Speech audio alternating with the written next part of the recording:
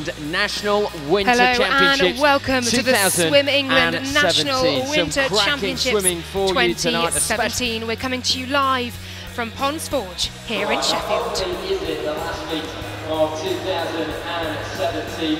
The stakes are very high as well, with 17 spots remaining Hello and welcome. The stage is set, the pool looking resplendent behind us. The swimmers lined up finals just minutes away here as they set to swim themselves into Commonwealth contention this week. Much at stake as they bid to battle it out for selection for the Commonwealth Games Gold Coast 2018 Championships next April.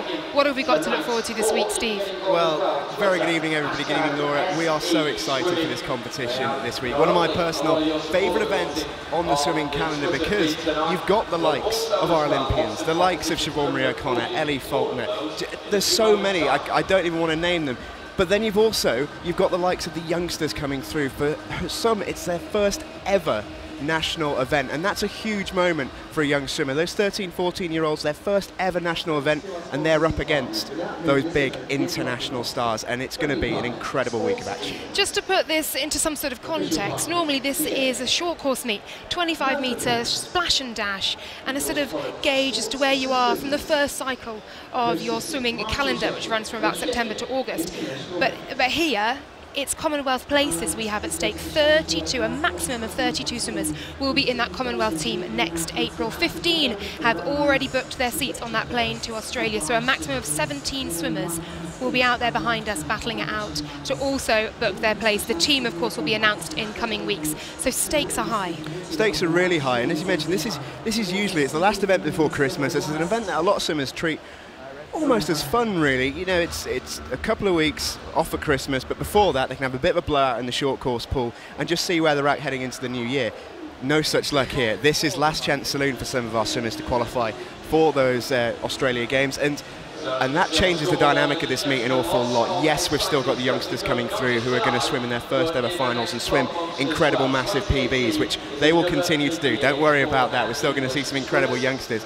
But for our best swimmers, our peak swimmers, the ones who want those times, this is no longer a bit of a blow out the cobwebs. This is this is it. This is a big event. They've got to train properly for it. They've got to take it seriously.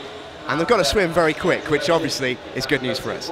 Yeah, there's no bones about it. This is do or die. They have no other option but to get these times right here over the next five days here in Sheffield, or they aren't, they aren't going. But you raise a very good point there that for actually for some juniors, and these are the up-and-coming British swimmers who we're going to see at the Olympics, at the Commonwealth Games in the future, they get to rub shoulders with the likes of Siobhan Marie O'Connor, James Guy, Ellie Faulkner. That's massive for them. Oh, it's a huge thing, and the more you speak to these young swimmers and their coaches, the more these events become more and more important, especially the winter one, because it's, it's usually an event where we don't see as many of the top guys at this event, so it allows the, the younger guys to maybe get a little bit more focus and a little bit more perspective and allow them to come to the fore a little bit more.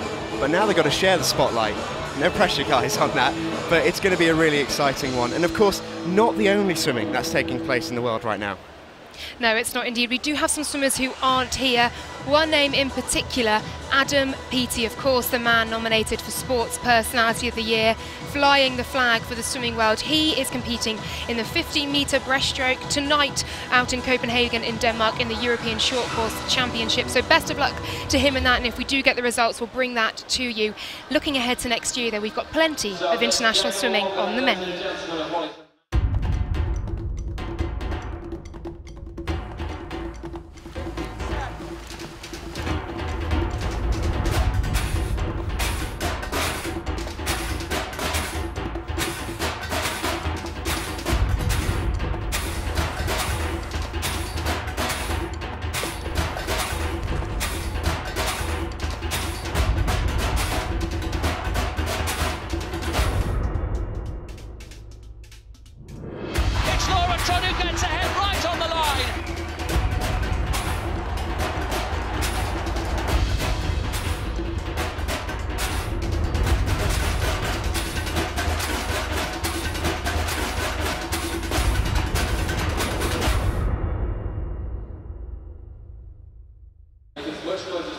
So that's to come forward in 2018. Plenty of amazing international swimming on the way in this country, but we've got to take a little bit of focus at this competition, and in particular tonight. This is the day one schedule for this evening. Loads to focus on there, Laura. Uh, Laura what are you looking forward to? I think the women's 200 freestyle first up, that is going to be spectacular. Ellie Faulkner at the British Summer Championships, she's already qualified. She's one of those who's booked her place on that plane to Australia. She swam a 157.04 and that is some distance ahead of the rest of the field. So I'm looking forward to seeing her swim, but also to see if the likes of Holly Hibbert can book their place there too. We also have some Canadians here as well from HPC Ontario and they're looking to fine-tune before the Commonwealths themselves. So it's interesting to see that uh, that battle between the English swimmers and of course the Canadians as well. Absolutely, and we've got some really exciting races coming up at the end of that programme. Women's 100 fly, men's 400 free, some real superstars coming up in that one, and they should be some fantastic races. Officials just making their way out here at Ponds Forge always nice. They always get a good reception here at Ponds, which, which is what I like. They do. They are the judges, though, of course, who uh, I guess end dreams that they're needing to disqualify somebody. But here they get a very good reception. Often volunteers who work tirelessly within the sport. So brilliant to see them get some good reception here in Ponds Forge, as ever, with a very loyal swimming fan base. And just touching on what you were speaking about before, some international swimmers swimming with us from all corners of the globe. We've got Ukrainians, Americans, Canadians, Qataris. This is a chance for some of our English swimmers to put themselves against some international competition, which again, at this time of year, they don't always get the chance to do, especially on home soil. No, it's really interesting this meet. I think the tussles that it's going to throw up are going to be fascinating. We are going to see now, there you see the officials being welcomed out onto poolside themselves. And a wave to the crowd. And make no mistake, the officials are really enjoying this. They, they know their audience at this point. Very much so. The finals just minutes away, as we said before. Coming up first, we have the women's 200 metre freestyle. Ellie Faulkner really looking to stamp her authority on that race. Schedule now coming up on screen for you all the men's 100 metre backstroke. Chris Walker Hebborn going in that one women's 400 IM up after that. Aimee Willmott will be the one to watch there, but also swimming well, Rosie Rudin in the heats as well. Yeah, and the, the, main one for me that I'm looking out for is that women's, well, first of all, the women's 100 fly, because we've got Siobhan Marie O'Connor in that race, obviously Olympic medalist, superstar at this level. She's only in lane two, which shows how it shows how competitive that race is. It does. There's such strength and depth here, but of course she actually pulled out of the 200 freestyle to focus solely on the 100 fly. She swam those freestyle heats this morning, but has chosen instead, I guess she sees herself as a better opportunity in the 100 fly to qualify. Yeah, she did swim a pretty quick time in the heats of the 200 free this morning, just edged out by Ellie Faulkner at the last. But it's going to be interesting to what Siobhan Marie O'Connor can produce and the 400 free is a good one as well. Tim Shuttleworth leading the way in that race. Very, very talented distance swimmer in particular. He set some British records at this competition when it was a short course competition as well. He does love swimming at Ponds Forge at this time of year, and he'll be hoping to hit the heights once again. And he's got a pretty competitive field, which always helps these top swimmers because sometimes when the good swimmers swim at events like these, they don't always have the level of competition to, to push them on to quicker times. They can't say that at this event. This is a pretty high standard of swimming competition. Absolutely. Jay Lelliott and Nick Grainger going against Tim Shuttleworth for that position in the Commonwealth Games. As you can hear behind me, they are beginning to welcome our swimmers out onto poolside. This, of course, for the 200 metre freestyle, and there she is, Ellie Faulkner. Already qualified, she has booked her seat on that plane. A double Olympian, the fastest British swimmer over 200 freestyle. 157.04 she swam, and also we're seeing now some of the Canadians coming out. Taylor Ruck, and indeed Holly Hibbert, who's a really interesting contender here. She won 800 metre free gold at the Baku 2015 European Games. But she did pick up 400 metre freestyle gold at the British Championships this year in Ellie Faulkner's absence. So it'll be very interesting indeed to see how she fares now. Holly Hibbert's been a, a, swimmer at this at this level fairly consistently for a long while now. She's already represented GB at a couple of junior competitions. She, she's been the next big thing for a little while, and you just you just start to wonder. She's starting to get to the age where she can really start to focus seriously at the age of 18. Where can I go as a swimmer? the Commonwealth Games might be the place to start. And you know, it's a pretty competitive race when you've got the likes of Hannah Miley in lane zero. Obviously, this is not her preferred event for Hannah Miley, but a, an international superstar. And although Scottish here at the Swim England Championships, she's obviously very, very welcome and very familiar faces to many of our watchers and many of the swimmers here as well. So those are the confirmed start lists for the women's 200 metres freestyle final.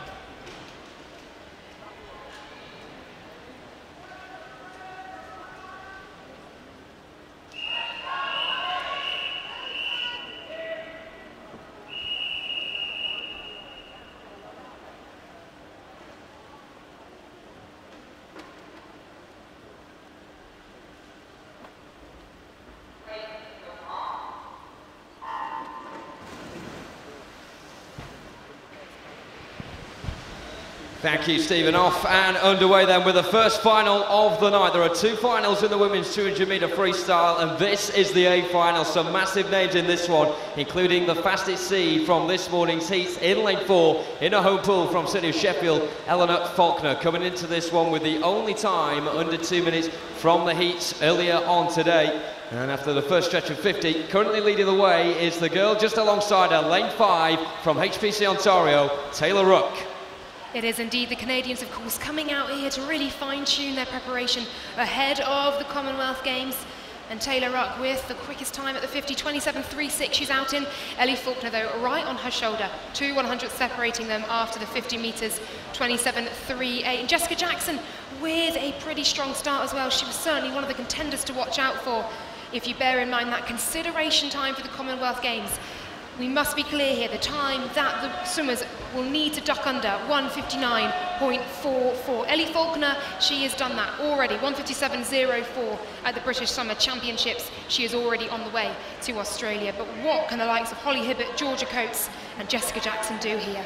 The formation of the pool at the moment definitely signifying that this one is going to form right now with that battle right down the centre between Eleanor Faulkner in four and Taylor Ruck in five. Those two trying to leave the rest of the pool behind them and succeeding as well. It's going to be straight down now in the final 50 to a two-horse race between City of Sheffield's Eleanor Faulkner and Taylor Ruck of HPC Ontario as well. A very tight battle for third right now as well, just on the outside lanes of those central two in three and six. That's Holly Hibbert and Kayla Sanchez of Stockport Metro and HPC Ontario respectively. Holly Hibbert, today is her 18th birthday. Can she get on the podium? The two, two at the front certainly will do. And Eleanor Faulkner will spearhead them with a time of 156.76. Taylor Ruck in next for HPC Ontario on 156.94. And Holly Hibbert indeed does cap off a very successful 18th birthday in third position.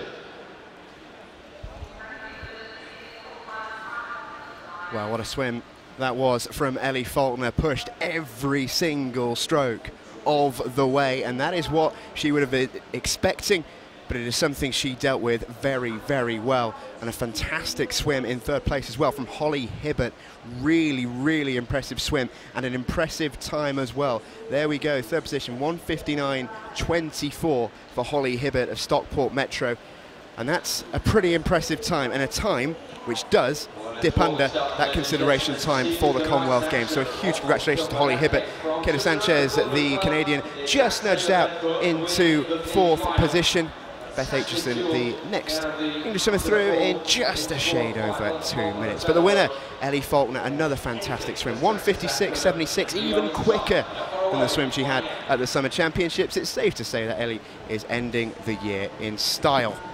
She took an enormous chunk off her 157.04 there. That was a massive PB, and we talked about her before the race about how promising she looked. To see Holly Hibbert go under that consideration time by point two, that is fantastic for her. Yeah, it's, it's the perfect way to round off what's what's been another impressive year for Holly Hibbert. Obviously, we should we should really enunciate it. doesn't guarantee her a spot on the plane. It's just a consideration time. There's plenty of consideration as well in many of our events. But wonderful to see Holly Hibbert get that time, and she's now at the mercy of the selectors. It's not going to be an easy pick. There's going to be some very tough decisions to make indeed, but Holly Hibbert, she really is stepping up to the senior international.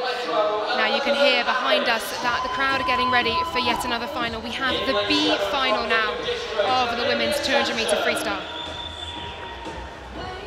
In lane one, from City of Sheffield, Abby We certainly do. And even though it is the B final, some names that will be very familiar to those who are who are familiar with the national circuit here, the likes of Leah Crisp. Abby Houston is a very, very good national standard swimmer. She's only in lane one. Athena Clayson in lane three. Amelia Sansom, Alice Deering. Alice Deering at Loughborough, very, very talented swimmer. So even though this is the B final, there's still plenty of talent in this in this event. Make no mistake about that. There it is, the start list for the women's 200 metre freestyle. This is the B final. And we'll hand over to our commentator, Jonathan Bell.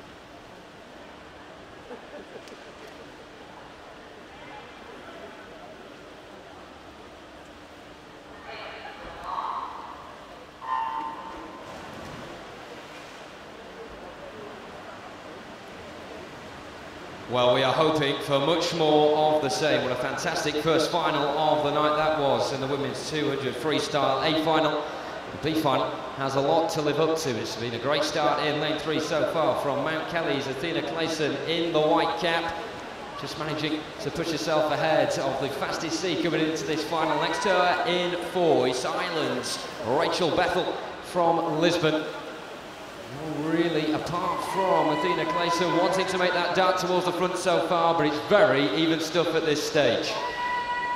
It is indeed Athena Clayson then with the best start over the 50, 28, 6, 9. Alice Deering of Loughborough University, of course, one of the national centres for British swimming here in the UK. She's coming through into second, 28.96, just behind her, her though, on her shoulder, Rachel Bethel, Lisburn, the Irish swimmers here. She is turning first now at the 159.71, and we saw in the heats many of our younger swimmers going out too fast and unable to stick with the pace. Some coming through indeed on the third 50, which is where swimmers can really start to make their mark. And it was often the length when I was swimming that my coaches used to say, you've got to work hardest on this length. It's where the race can be won and lost.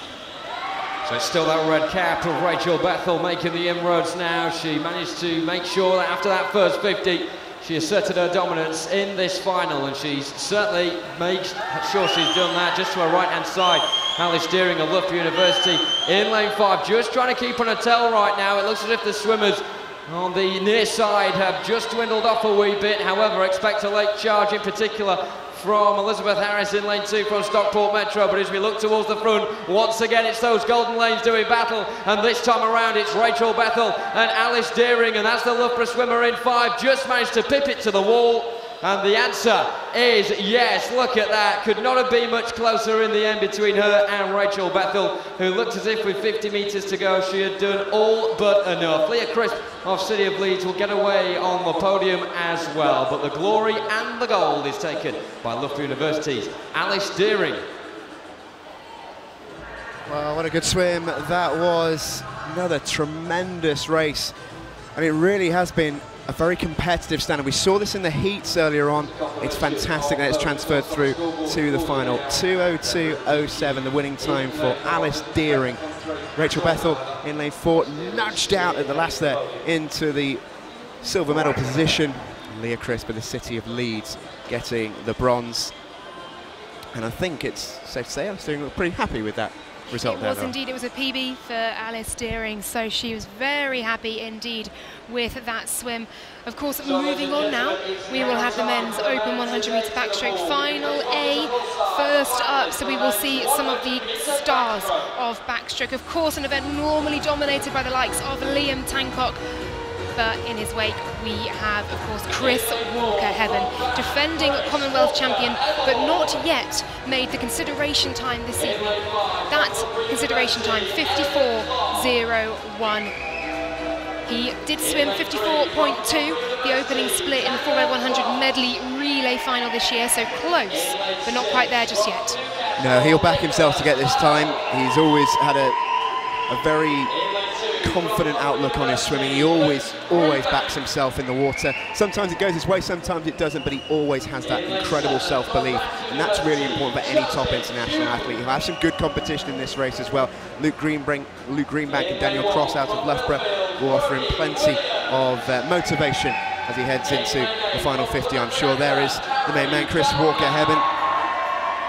Luke Greenbank, an interesting one to watch. One of those swimmers who came through in 2012 at the trials and went on to the Baku 2015 European Games.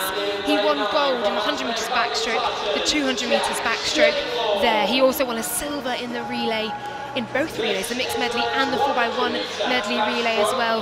He is also a youth Olympic champion. So truly a promising junior. Can he now step it up to international level and book his ticket to the Commonwealth Games? Yeah, Luke Greenbank, similar to Holly Hibbert really. He's been the next big thing for a while.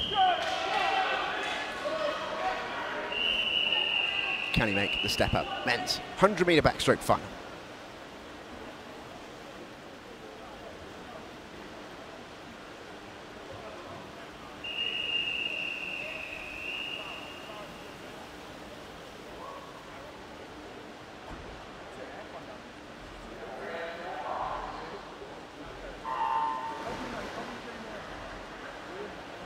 And off we go. The one to certainly look out for in this one. Lane four, Chris Walker Hebborn of Bath. He's won Commonwealth gold in this event before. Taking to the pool now, looking to make sure that he will be on that plane for the Gold Coast in 2018.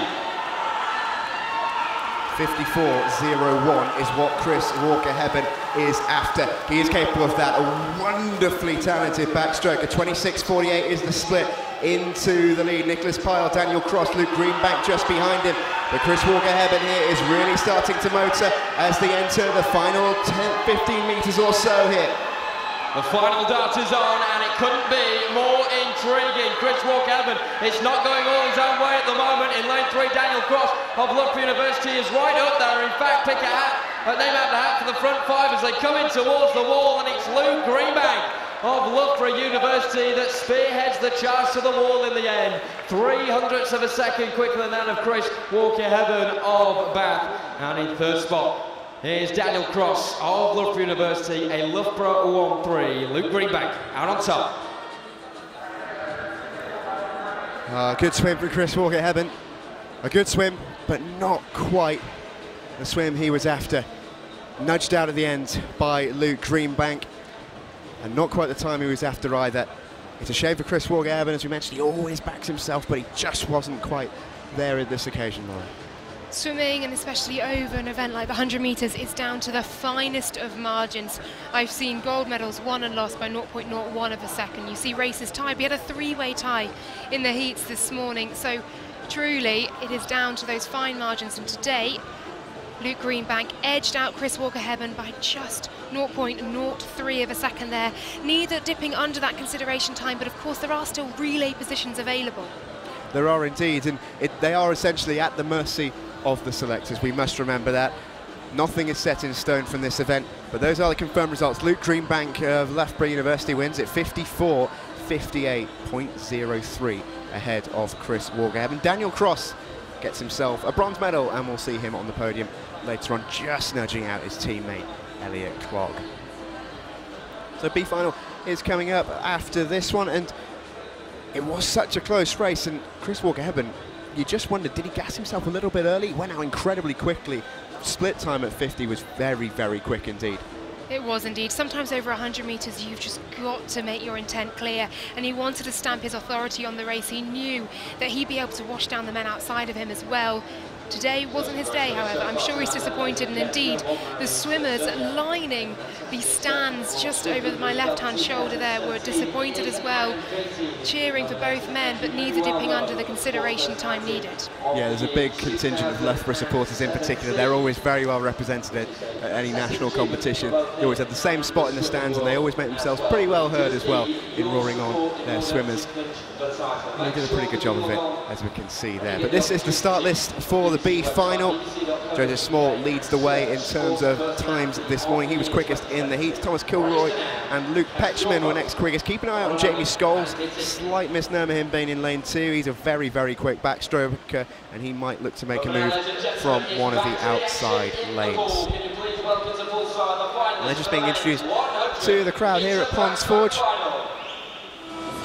we're set for another really competitive race. We've, that's the thing we've seen so far. We've not seen any race really which has been blown out of the water. Everyone has had to push for those margins, and that's what we alluded to at the start of the show, Laura, is that nothing was going to be given to an athlete in any race in this competition, and they're really having to push. Absolutely not. As we said before, previously this event, more fun event, not to take away from the magnitude of it, but there certainly wasn't as much at stake as there is here today. To be clear, the final chance for our swimmers to dip under those consideration times for next year's Commonwealth Games. The England squad will be formed over the course of these championships and then announced in the coming weeks. So these swimmers, certainly in the A finals, are really looking to make their mark and dip under those times they need. For those swimmers in the B finals, it's a little bit different. They're just trying to do the best they can for this coming year, of which it's another massive year in swimming. It always seems to be. It, it never seems to stop the swimming calendar, but it's another big year next year, as always. And of course, some of these are youngsters as well, and they are looking to get some serious experience under their belts and take the step up to becoming the next Walker-Hebborn Greenbank. It's men's 100 metre backstroke, B final.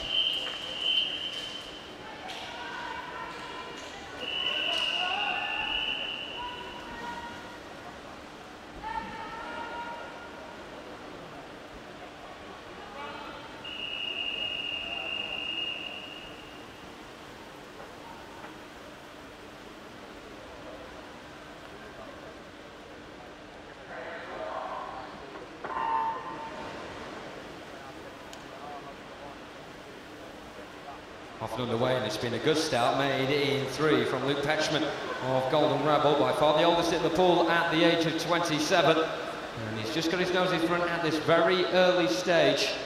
Can we see the sort of swimming that we saw in the A final? Very tight all the way to the last. Yeah, try and call this one. All of them coming into the wall pretty much in a line here, like synchronized swimmers turning at the turn. Thomas Gilroy was quick as 27.36, not a lot in it at all. Indeed, only a hundredth of a second between fourth, third and fourth. It's going to be very, very close. Who looks to take the advantage as they head into the final section of this race? Once again, this one going to go right down to the wire. Who's going to pick that cap in at the last? Who is going to get to the wall first? Once again, a straight line beginning to materialise. It's anyone's guess as they come in towards the wall. James Oxborough of Loughborough University is the one that manages to get there, and the only time as well that sub 57. 56.88 the winning time with Thomas Gilroy in next for Pioneer 79. He couldn't make his lead count from the halfway stage, but he'll settle for second nonetheless. And Jody Small of Ellesmere College Titans is in third. Well, well, well, you saw what that meant. to young James Oxborough of Loughborough Uni, 56.88, and a huge smile on the face of Oxborough there. He really enjoyed that one. And you know, coming at it from lane six as well, so he wasn't necessarily in those middle lanes and one that the others were perhaps watching. But clearly an outside lane today worked for him very well indeed. It certainly did, yeah. Very, very quick time as well for James Oxborough. PB coming into it was 57.64. That was set in the heats this morning. Obviously, feeling pretty good. 56.88, the winning time for James Oxborough, as he smashes another personal best in the pool in Sheffield today. We mentioned there might be a few of those. James Oxborough fulfilling that prophecy quite nicely clearly in very good form indeed then as we move on to our next senior final of course the women's 400 meter individual medley coming up very soon indeed now, three swimmers have made the consideration time this season, but not at an eligible event for selection. So they know they've got it in them. Aimee Willmott, Rosie Rudin, Abbie Wood, all three vying for contention here. You can see they are in the middle lanes. Aimee Willmott, of course, with a stonking heat swim as well. Yeah, well, they, that's all you need to really look at is those middle lanes. The talent in lanes three, four, and five, absolutely fantastic. And some brilliant youngsters, really nice to see actually, joining them in the outside lanes as well. Should be a really, really good race this. I always love the medley because the race can change so quickly. You know, you've got specialists in various strokes Aimee Willmott is one of those few swimmers He's an expert in everything, doesn't really have a weakness, but you do see the likes, especially the youngsters coming through. Amelia Monaghan got a mean breaststroke, and that's her specialist. She'll swim that individually, and it's worth keeping an eye out for those swimmers who do have those specialists, because that is the way that the race can change. Quite often the breaststroke, like the field will shrink, it'll make it a very interesting race. It's so good to see three top quality swimmers all duking it out there in this final because it's going to be a pretty hectic race. And we all know they've got the times in them. Worth noting, Aimee Willmott indeed swam under the consideration time this morning. 4.41.81 the time. She posted a double Olympian. She was 11th in London, she was 7th in Rio. Can she now make the step up at Commonwealth level? We shall see. She's looking to head to her third Commonwealth Games next year, and she swam the time she needed to this morning, 4:41.81. So if she can repeat that, and who else will be joining her as well? Rosie Rudin, 4:43.03. So only marginally outside that consideration time needed of 4:42.88. Abbie Wood, 4.45.06, so some distance behind, but you never know what swimming against the likes of Aimee Willmott and Rosie Rudin can do for a promising younger swimmer who's looking to rise through the ranks. Absolutely. Should be another belter. It's the women's 400 metres individual medley, a final.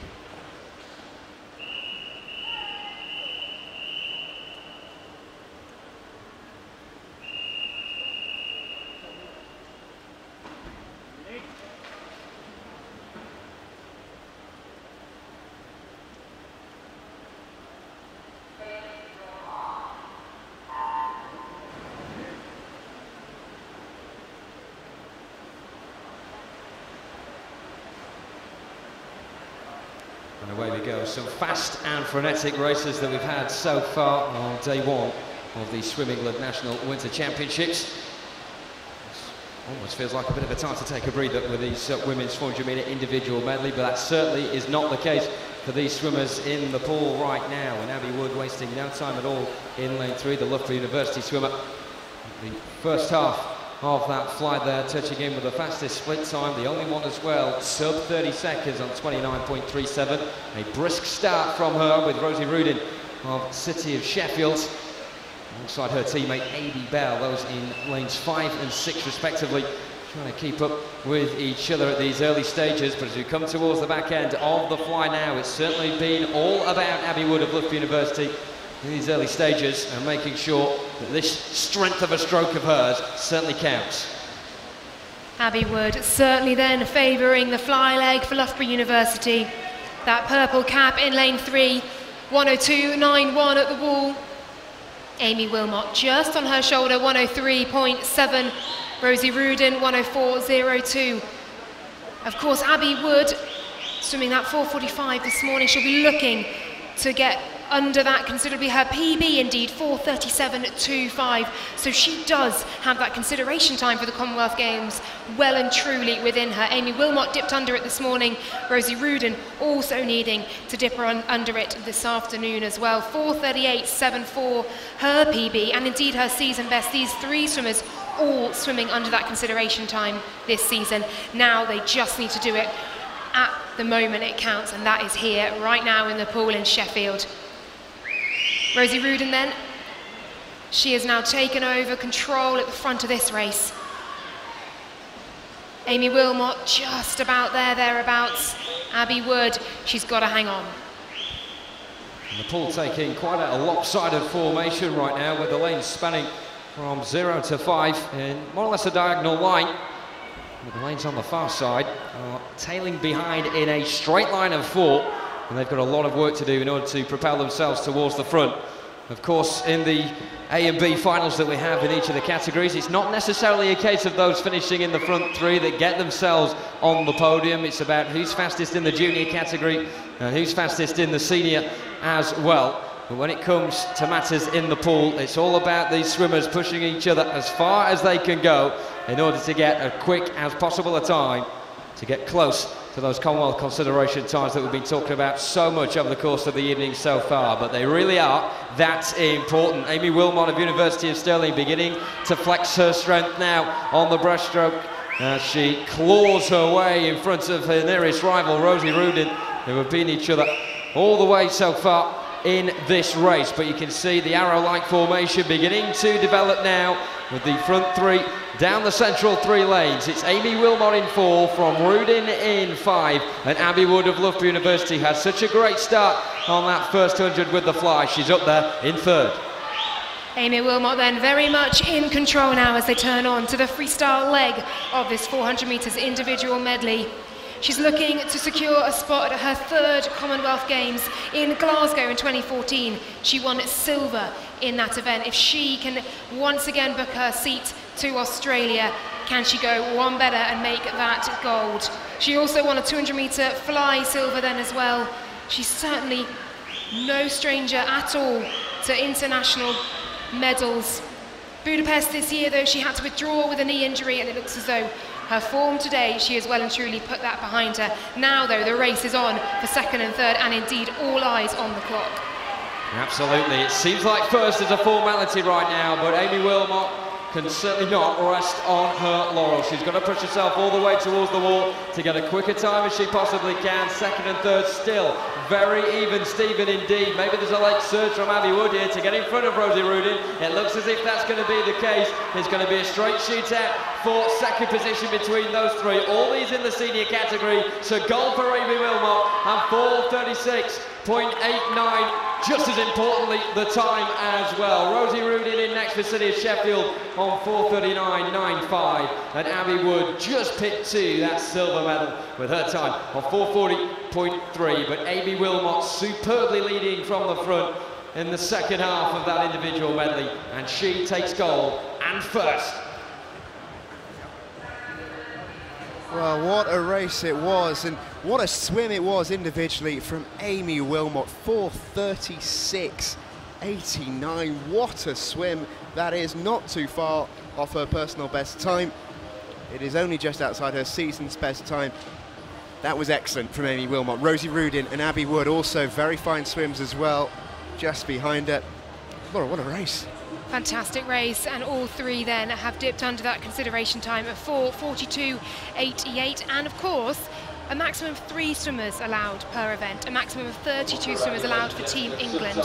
So now it's very much up to the discretion of the, uh, I guess, the Swim England, Team England chiefs who are going to decide these women's fate. And indeed, if there are too many swimmers to take to Australia, you can see hugs on the screen here. They know they've done as much as they can. It's now out of their hands. Their times will be ranked on percentage-wise for a gold medal time. That's really lovely. Look what it means to Rosie Rudin. One of her very, very good friends, Ellie are part of the Sheffield team here in their home pool at Ponds Forge. What a lovely moment that is for Rosie Rudin there. An incredible swim from Rosie, and I think I think she knows she's done as much as she can with that swim there. That clearly meant a lot. Swimmers put everything into. You're talking literally four minutes of their lives. They put so much into four minutes, and when that pays off, the level of satisfaction that they glean from that is hard to describe. And I bet now if you ask Rosie Rudin how she's feeling, she would be completely lost for words. I spoke to Aimee Willmott along the lines of that of I've basically got four and a half minutes to make my mark and to put my stamp on this race. This was before the Rio 2016 Olympic Games and I've been training all my life for this. So years and years and years of training come down to just four and a half minutes in the pool. And indeed, when you're a 100 metres swimmer, it's about 50 seconds or something. It's crazy. You can see them now as well, just dissecting what happened. Hugs all round, smiles all round. Those three ladies very happy indeed to do this when it counts. Yeah, no huge surprise. There's a fair few smiles kicking about for the likes of Aimee Willmott, Rosie Rudin and Abbie Wood in particular. Some really, really fine swims in that race. Don't think that's the end of the action just yet. We've already seen some successes in the pool tonight. We're hoping for a few more. We've got some wonderful races coming up for you. Next up is the men's 200 metre breaststroke. Before that, we have got some medals to give away here at this uh, at this championships. After, of course, we have the B final. It's so easy to forget, Laura, that once the big guns have gone in the A final, we've still got the youngsters to come. But we cannot forget about these guys. they've given everything to get in this position, and they're after junior medals as well, and they're after some of their best ever times. Absolutely, the winter meet truly about the junior swimmers beginning that pathway, taking that step up to really mix it amongst the big guns in the senior finals. And here, what an opportunity to do it. It's a long course meet, and the senior swimmers are coming into this in such good form. If they've already qualified for the Commonwealth Games, if they're already selected, they're looking really just to fine-tune their performances. And if they haven't, they are going to want to come out all guns blazing to ensure they get those times. And these girls in the heat, these junior girls here, have been racing the likes of Aimee Willmott, Rosie Rudin, Abbie Wood in the heats. And that sort of experience, they will remember for the rest of their lives. It's one of those landmark moments in any swimmer's career where they realise this is the moment I've got to step up. Yeah, absolutely. No pressure, guys. You're up against some of the very best around. Let's see what these girls can produce. In the women's 400 metres individual medley B final. So over to you, Jonathan.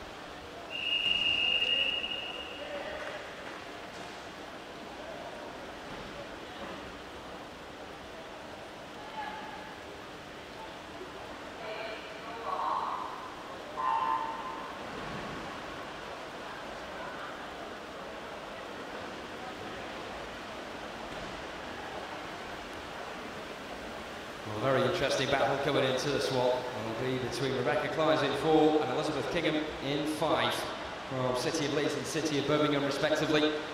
Two quickest times from the heats this morning in this B final. And they were separated by just 0.31 seconds. And out the two of them making the better start as they come in towards the wall. Is indeed Elizabeth Kingham in lane five from City of Birmingham, Caitlin Bergen in lane zero from Stockport Metro, flying out of the traps on the near side in the blue cap. Definitely putting the butterfly stroke, which is her strength, to good use right now. And it looks as if she's going to maintain that as well, coming in towards the wall. But of course, the cliche of marathon, not a sprint, very much fitting for these 400 IMs. And it can all change. And you just at least half a stroke. But for now, leading the way in zero, Caitlin Bergen of Stockport Metro.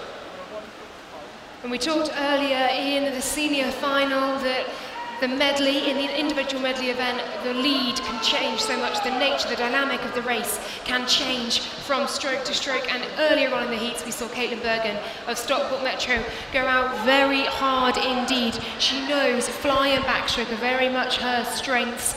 And here she has done the same again. She knows this is a tactic that will work for her. And in lane zero, she is really going for it. She's done a 5.06.09 this morning. She's got a PB worth noting though of 5 minutes point two three. So what is she capable of this evening in the final? Caitlin Bergen leading the way after the fly leg and still in control at the front of this race on the backstroke as well. And a lovely backstroke it is too smooth, powerful, long. She's powering through the water. But do expect to see the likes of Rebecca Clines, Elizabeth Kingham start to come through over the breaststroke, and that's when the field really begins to close up.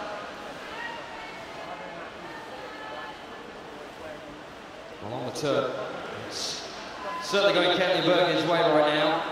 And of course, in the 400 IM, it's impressive whenever someone on the outside lanes in the final manages to take first position, but particularly in this discipline. And she's showing it wasn't just the early butterfly that's her strength. She can do it on the back, and she do it with the breaststroke now as well. Those beginning to chance their arm, particularly down the centre in four Rebecca Clines of City of Leeds. And level with her in sixth is Michaela Glenister of City of Leicester. And seemingly leaving behind Elizabeth Kingham, who made a decent start for City of Birmingham in five. Will it be the assault for her on the final 100 metres in the freestyle? We'll have to wait and find out, but we have a new leader on the turn now, halfway through this breaststroke leg, and it's courtesy of the fastest seed in this big final, Rebecca Clines of City of Leeds, 305.23 to split, ever so slightly ahead of that of Michaela Glenister in sixth for City of Leicester.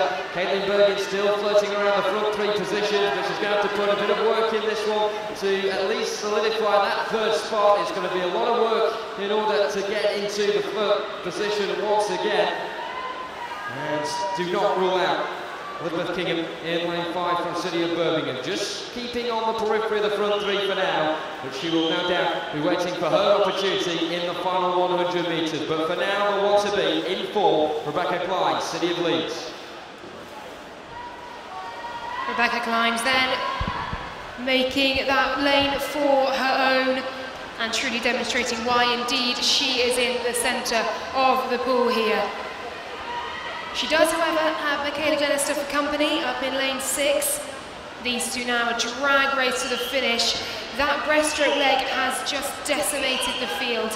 And Caitlin Bergen, who went out so hard, what a brave, gutsy effort to do that. She's beginning to fade ever so slightly. Let's see how she can hold on. Now, Michaela Glenister turns first at the 350 metre. Rebecca Clines in second. It is going to be an almighty battle to the wall. Michaela Glenister then. She's not breathing the way of Rebecca Klein. She's not going to have an eye on her. Coming up then to the final 25 metres, she has half a body length lead. Well, it's been very close indeed over the course of the last 100 metres. It looks as if, in the end, it is indeed going to be Michaela City of Leicester, and she made it look pretty comfortable as well, just about. Just over two seconds, she leads in the end over Rebecca Clines of City of Leeds. Megan Sheard winning the battle for third position for Stockport Metro. And Michaela Glenister with a superb freestyle back 100, managing to take that final.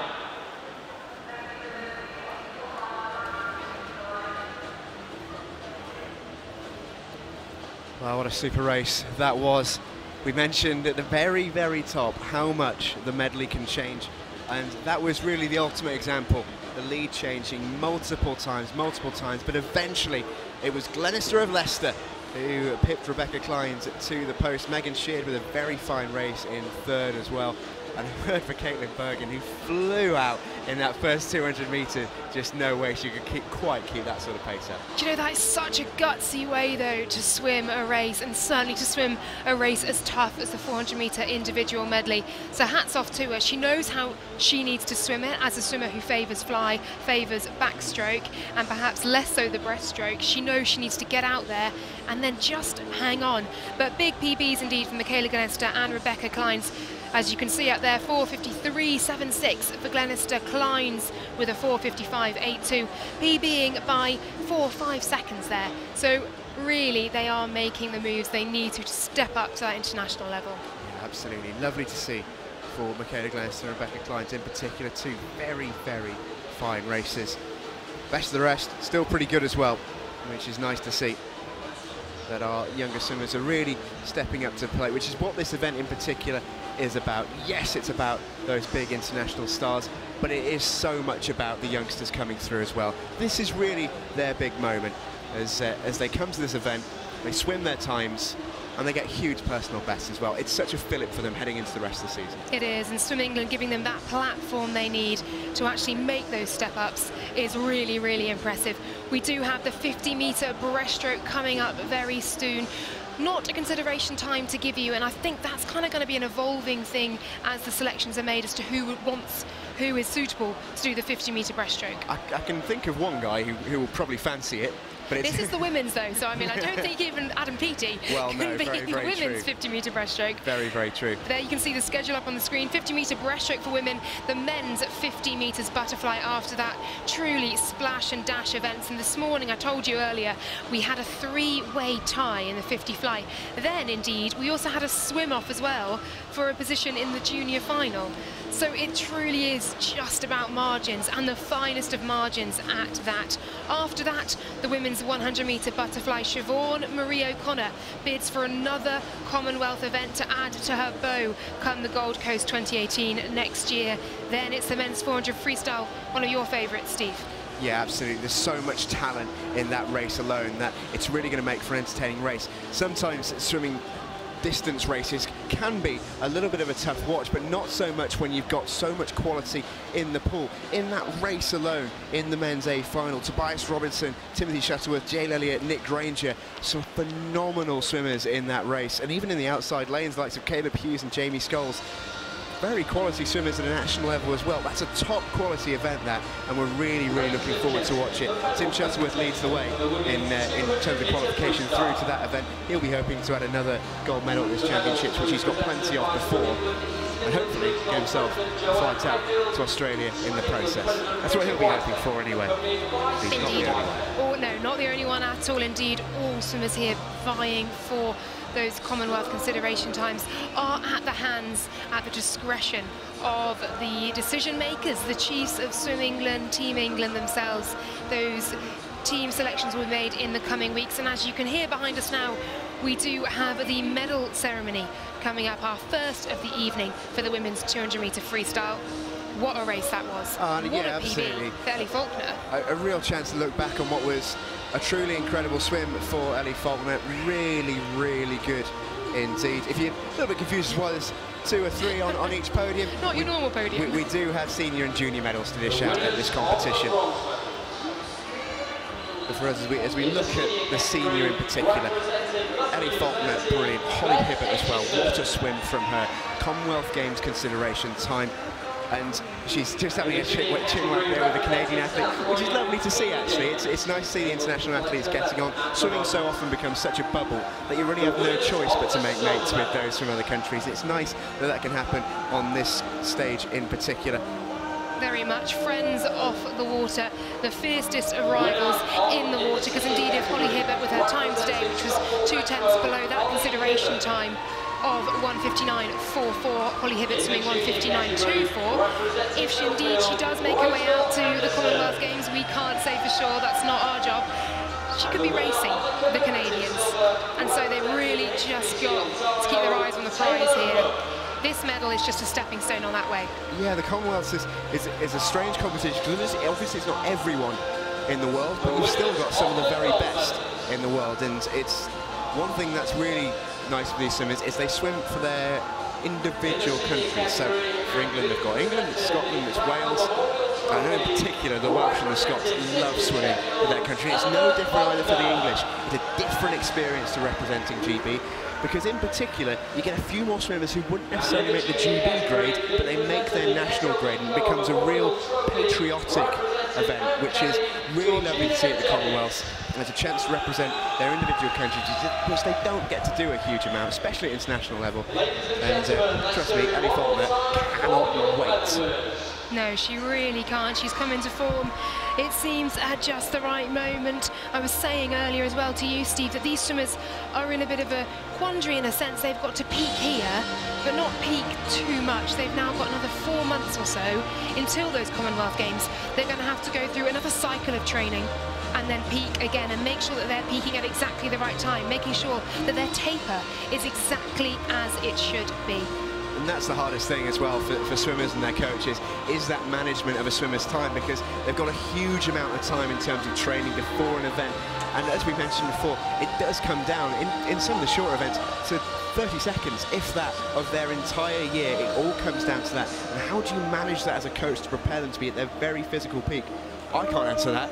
Coaches obviously make it their mission to do so, and they're very, very good at doing it. It's also, it's easy to get it wrong and it's easy, I've seen swimmers and other athletes as well almost peak the week after their the week where they should have been swimming at their very best and you see them in competitions they were meant to do as a kind of just additive to the season actually swimming faster maybe the pressure's off pressure of course being a big thing and here we're going to see it more than not because this is their only chance their final chance to get those consideration times for the Commonwealth Games and they've got to peak here and they've got to peak again in four months Well, that in itself is, is its own little acid test ahead of the Commonwealth Games. Major international competition, those who haven't been there before, how do you handle the pressure? It's a good opportunity with this sort of last chance saloon scenario they've got at this championships to put that to the test. That is a lot of pressure. Make no mistake about that. They will be feeling that, these athletes, especially the ones who haven't got times already. The ones who have already booked a seat on the plane but are trying different events, maybe that's a little bit less so. But for those who haven't got a time and haven't got a ticket, that's, that's a lot of weight on the shoulders. It really is, and you can you can feel the nerves and tension here when you walk in. It's not your usual Christmas December event. No Santa hats just yet. There are, there are no Christmas decorations here at all, actually. It's all very serious indeed. And as it should be, there is much at stake for our swimmers. Coming up then, just to remind you guys at home, we've got the women's 50 metre breaststroke final. We then have, of course, the B final of that as well, so the senior and junior finals. We then have the men's 50 metres fly. And I love watching the 50s. They're over like that but and you can barely pick out who's going to win. It's, it's the hardest possible thing as a commentator. Good, good luck to Jonathan on that one. But it's the 50s really are a true splash and dash, and those are the races where they they can change in far less than a second.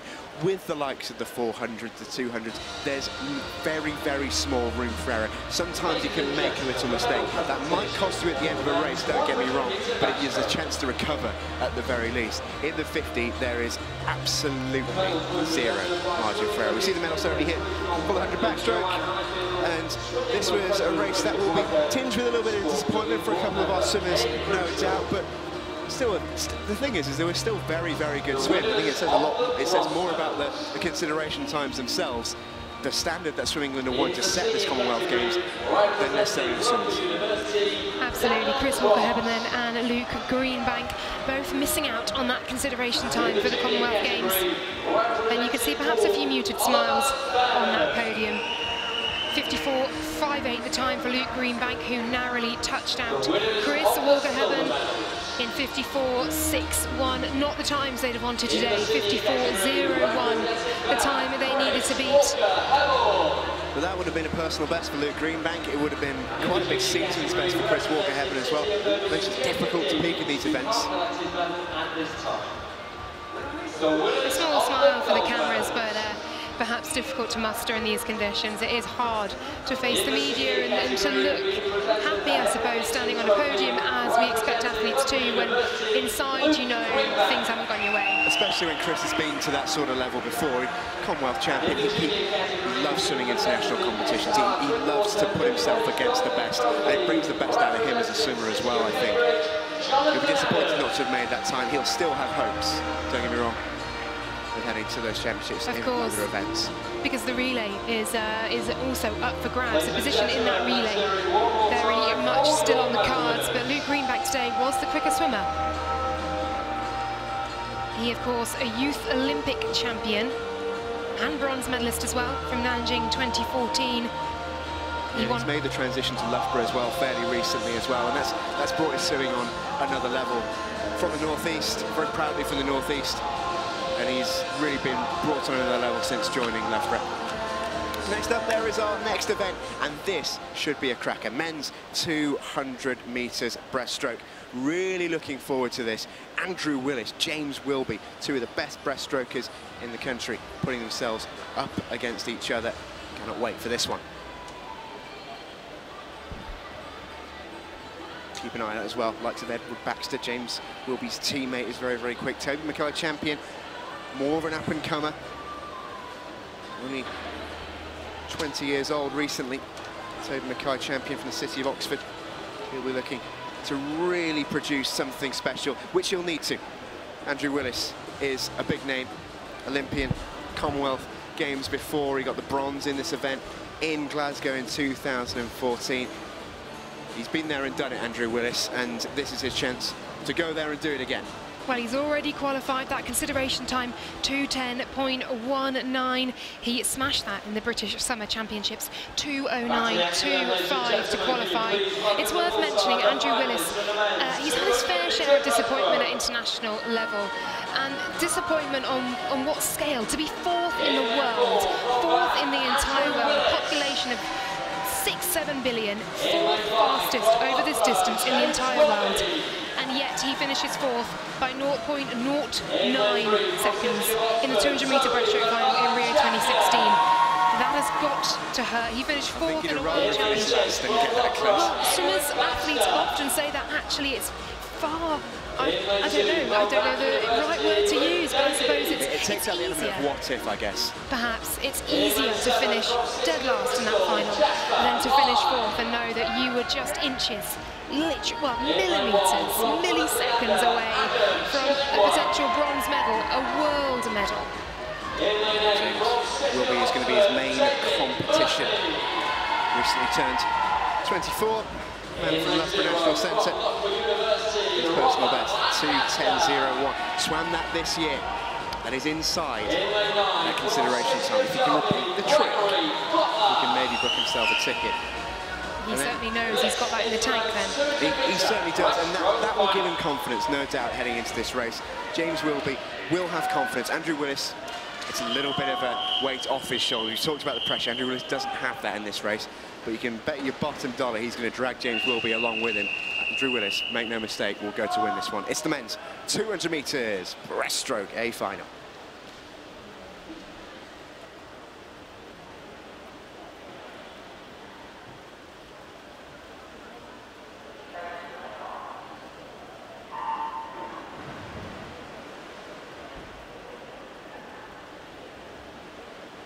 Away we go, a break in the action always increases the anticipation ahead of the next race, and certainly that is the case here. You see the two menacing black caps down the heart of the pool. Andrew Willis of Bath in four, and James be in five of Loughborough. Not much separating them in the heats this morning, but it was Andrew Willis who reigned supreme.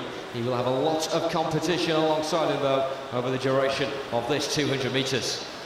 He certainly will, and it's a fairly slow start for Andrew Willis. Actually, James will be quickest out at the 50, 29.49 for James Wilby. Quick start as well when Toby Mackay-Jampion just dipping over 30 seconds. James will be really taking this one out. We talked ahead of this race about how important it was for him to really lay down a marker in this. Commonwealth times are on offer potentially for James Wilby. Very much got it in the tank as the Loughborough swimmer. It goes up to him to do it himself. He's got good competition in this race. That will certainly help him along to a quicker time. Split at the 100, 62.73, going along really, really nicely is James Willis. Uh, James Wilby, I should say. Andrew Willis has now moved up to second place. Bit more of an expected front two here. These two led the way in the heats. They've been expected to produce this sort of contest in the final. One versus one, mano mano, Wilby versus Willis in five and four respectively. And here comes Andrew Willis towards the final turn for home. He's putting Wilby under a little bit of pressure. Wilby went out very, very quickly. Up to him to maintain his speed. 137.09. Wilby still leads into the final stretch. Almost simultaneously off the wall there for the final turn. The front two leaving the rest of the pool behind them. But will it be a case here of James Wilby leaving Andrew Willis in his way when it looks like the answer is going to be a very emphatic no and it'll be answered by Bath's Andrew Willis who bites back here right He comes in towards the final 10 metres. Still James Wilby trying to claw his way in front of him, almost hugging the road right alongside him, but they come in towards the wall and Wilby does enough to hold on. A good retaliation from the Loughborough swimmer, right when it was needed as well, because Andrew Willis was menacing throughout. Toby Mackay champion, is in third spot. James Wilby right at the top. He spearheads that final in first. Well, well, well. What a race. We mentioned so much, Laura, that James Wilby had it in him to get the time, and I think you see from his reaction there that he's so close. And we mentioned it actually with, with Willis in his fourth of the Olympics, similar feeling. When you're so close to a time, absolutely crushing. A penny for the thoughts then of James Wilby, 210.28. The consideration time on there, 210.19, 11 hundredths outside of that consideration time for the Commonwealth Games, and you could see by his reaction there, uh, he was pretty devastated. To 11.10 for Andrew Willis. So uh, the man who's already booked his ticket onto there, not quite stepping up to the mark. He, doesn't need to. This is a stepping stone for him to Commonwealth. James Wilby, he needed to make it happen today, and 11 hundredths, what of them? And he thing, and the thing is, is he gave it such a go as well. He just started to fade in that back straight. In, in the last 30 metres before the final 20, just didn't quite get up there. Andrew Willis started to rein him back in, and he rallied Wilby. He really, really rallied in that final 20 metres to come back and win it because it looked like Willis was going to take over and take the gold, take the win, and really send Wilby home with a, with a very, very big disappointment. He did so well to bring it back, just not quite back enough. Went out quick enough, didn't quite have it in the tail. But down that final 25, that is when the legs are falling off, the arms are burning, the core is on fire, and you can barely breathe.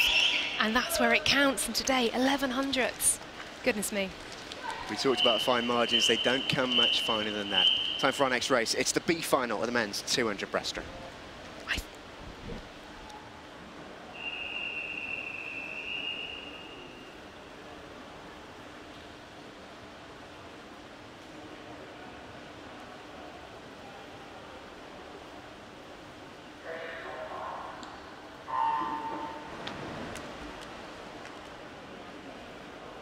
finals have had a lot to live up to so far tonight. Such a high standard in the pool here in Sheffield.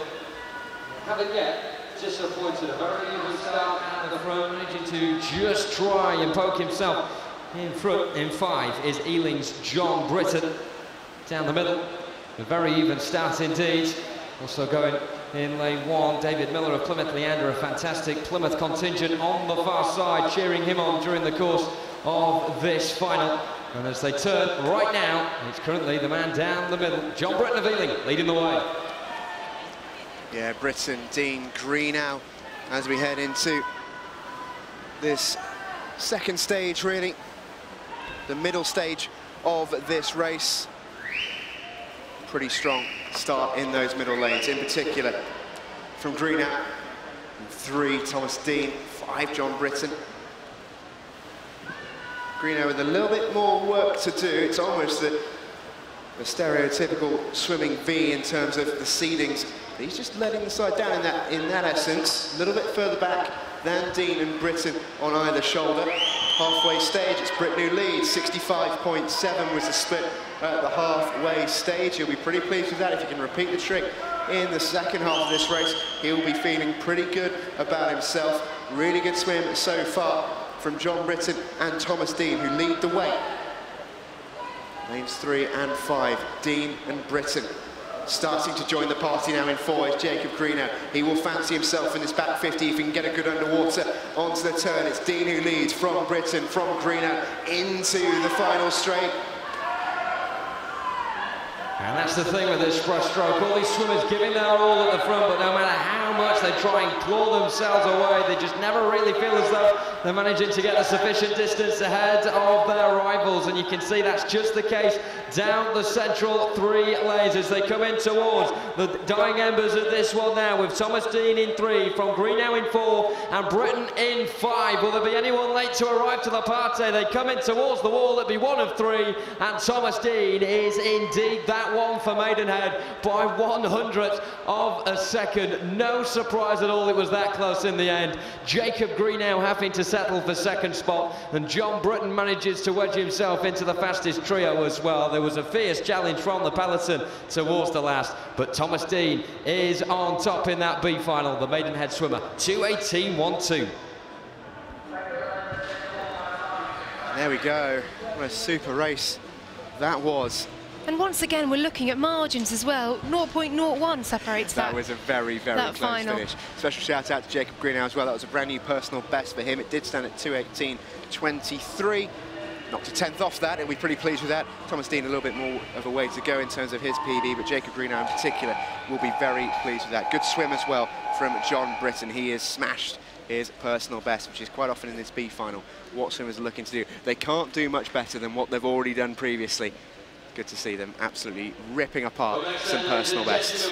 Now don't worry, there hasn't been a false start. You're not missing any swimming action. What you heard then was the officials testing the starting equipment down at the other end of the pool because we have 50 metre breaststroke for women coming up. The A final, of course, the senior final and the junior final as well. While we wait for these girls to come out, a little quick rundown of some of the names who've already been selected for the Commonwealth Games. The likes of Adam Peaty, no stranger to success in this event, and indeed swimming in the short course championships tonight as well.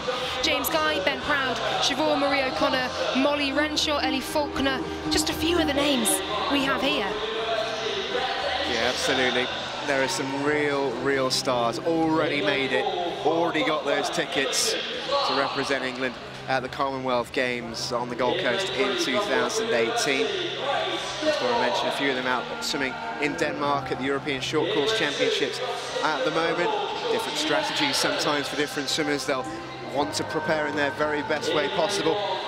Adam Peaty, good to see, still smashing short course. He set a championship record in the short course in his semi-final. Mind, he always says the weakest part of his race is the start. Pretty important in short course. Still important in short course, important over 50. And my goodness me, he truly has redefined breaststroke swimming. And now let's see what these ladies can do. Imogen Clark, fastest in 30.8. Beth Aitchison in five and Grace Gilroy in three. Ones to watch. This is the women's 50 metre breaststroke final.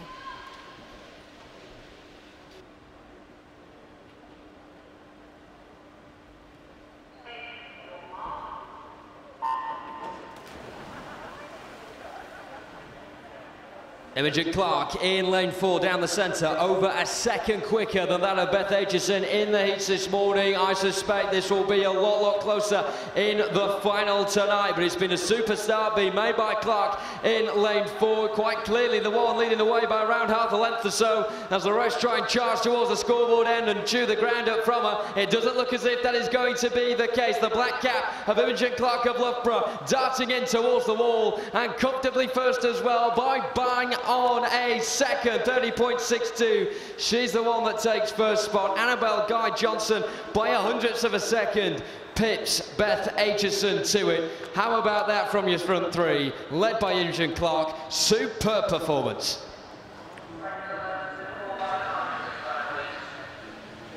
Oh, fine swim there, Laura. No huge surprise with our winner there. Superb swim.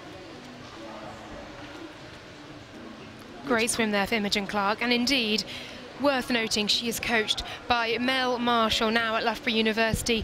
And of course Mel Marshall herself a distinguished swimmer who had a fantastic career I was lucky enough to swim with her for a little bit at Loughborough University. I used to see her about and I tell you she truly is inspiring as an up and coming swimmer to watch. And indeed here she's coaching Imogen Clark who else does she coach the one the only Adam Peaty well if you want really to be coached in breaststroke Mel Marshall is the woman for you. And it's clearly working for Imogen Clark. Fine swim over 50 metres. This is our start for the B final. Rachel Wilson was the quickest in the heats this morning. Jemima Berkeley also one to watch out for in lane five. Rebecca Burton of Loughborough, another one who is based at Loughborough University. Who, uh, not directly coached by Mel Marshall, but I'm sure she gets the occasional pearl of wisdom, of which Mel has quite a few. She has plenty, she does indeed. Some nervous looking swimmers back there. There's nothing quite like the feeling before a race. Your stomach's doing flips and turns, and though you fight for all it's worth to be in this position, when you're here, seconds away from a race, it's actually one of the last places you want to be. And you've got to deal with that mindset, and you've got to truly step up to the plate and go out there to attack it and to be aggressive. Yeah, for these swimmers, especially the younger ones, the likes of Layla Black there, Rebecca Clines, the youngsters in the outside lanes for the City of Leeds, they're used to swimming in this pool. They swim at Ponds Forge all the time. They swim at Nationals a few times as well. But this event this year just has that extra level. It feels bigger, and that is certainly and will certainly translate to the athletes as well. Let's see what they can produce in this one. It's the women's B final for the 50 breaststroke.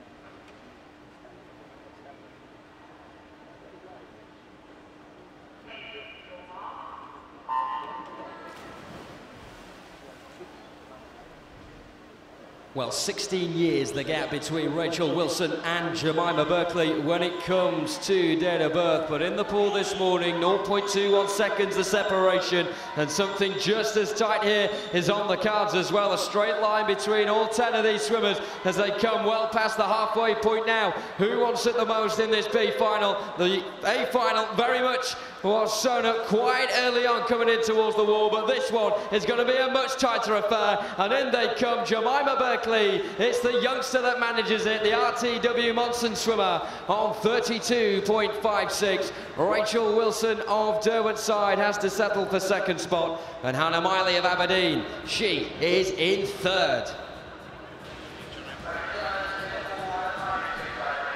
Fantastic swim then by Jemima Berkeley, just touching out Rachel Wilson and indeed Hannah Miley, a name I'm sure many of you at home watching will recognise. 50 breaststroke, not one of Smiley Miley's best events, but she's certainly capable of putting up some good numbers. 32.79, a decent swim indeed for Hannah Miley there to take third in that one. Jemima Berkeley, 32.56 to win it, just touching out Rachel Wilson. That was a very, very close race. Make no mistake about that. You can often see it in the 50, especially with the breaststroke as well. Can, it's almost in slow motion as opposed to something like the freestyle. You can see when they take their last gasp of air, and then it's all on the underwater. Who got there first this time? It was Jemima Berkeley. Fine swim from the RTW Monson swimmer, 32.56 winning time. Imogen Clark, though, very much setting the pace there in the senior final for that one. 30.62 she clocked today. Worth noting her PB, though, 30.21. As we said before, coached by Mel Marshall, of course, Adam Peaty's coach, indeed the swimmer up for Sports Personality of the Year after what is truly been a stunning season. We've got more splash and dash events as well to come. The 50 metres butterfly, the men's 50 fly coming up very soon indeed here in Ponds Forge. And indeed the atmosphere in here tonight, you can see how much is at uh, stake by the reaction of friends, family and also coaches as well on poolside. The coaches are the ones who can hide their emotions, sometimes the worst, I must tell you. We've seen a couple of near misses for swimmers and we've seen heads in hands from coaches. That's, as Laura mentioned, what we've got coming out for you. Men's 50 fly is next up. Women's 100 follows that. Siobhan Marie O'Connor goes in that one. And the men's 400 freestyle is a fine way to round out what's been some incredible individual events. And we end in style. Women's 4x1 freestyle team event. Always a fun one, the relays of these nationals. And this one, we're not expecting that to change in any way, shape or form. The heats were wonderful entertainment this morning and the final should be along similar lines. The heats are very entertaining indeed this morning. And that was very much a race for lanes so we will see the City of Oxford going in lane four in that one. So it should be uh, it should be thrilling Mount Kelly there as well. Those two had a right tussle in the heat. And I'd imagine these swimmers have been racing each other you know month in month out at championships like this. They'll know each other very well and I'm sure there's a, a, few bragging rights at stake later on this evening. We see now, though, another, another medal pre presentation for these swimmers. We certainly do. And a chance for the medals just been presented here to, to round off the, the 15 swimmers that have already booked their tickets to the Gold Coast 2018 got to Ellie Faulkner, I think, on our list. Andrew Willis, as we mentioned, has joined the Max Litchfield, the City of Sheffield staple. He loves swimming in Ponds Forge. He will be here later in the week as well. He will be indeed. We're looking forward to seeing Max. Lizzie Simmonds of Edinburgh has made it in the backstroke. Freya Anderson, one of the best young talents to come out of British swimming in a very, very long time. She is to a very, very exciting talent. Can't wait to see her go in the Commonwealth. Luke Greenbank has made it, not in his event that we saw him swim tonight, but he has made it in another event.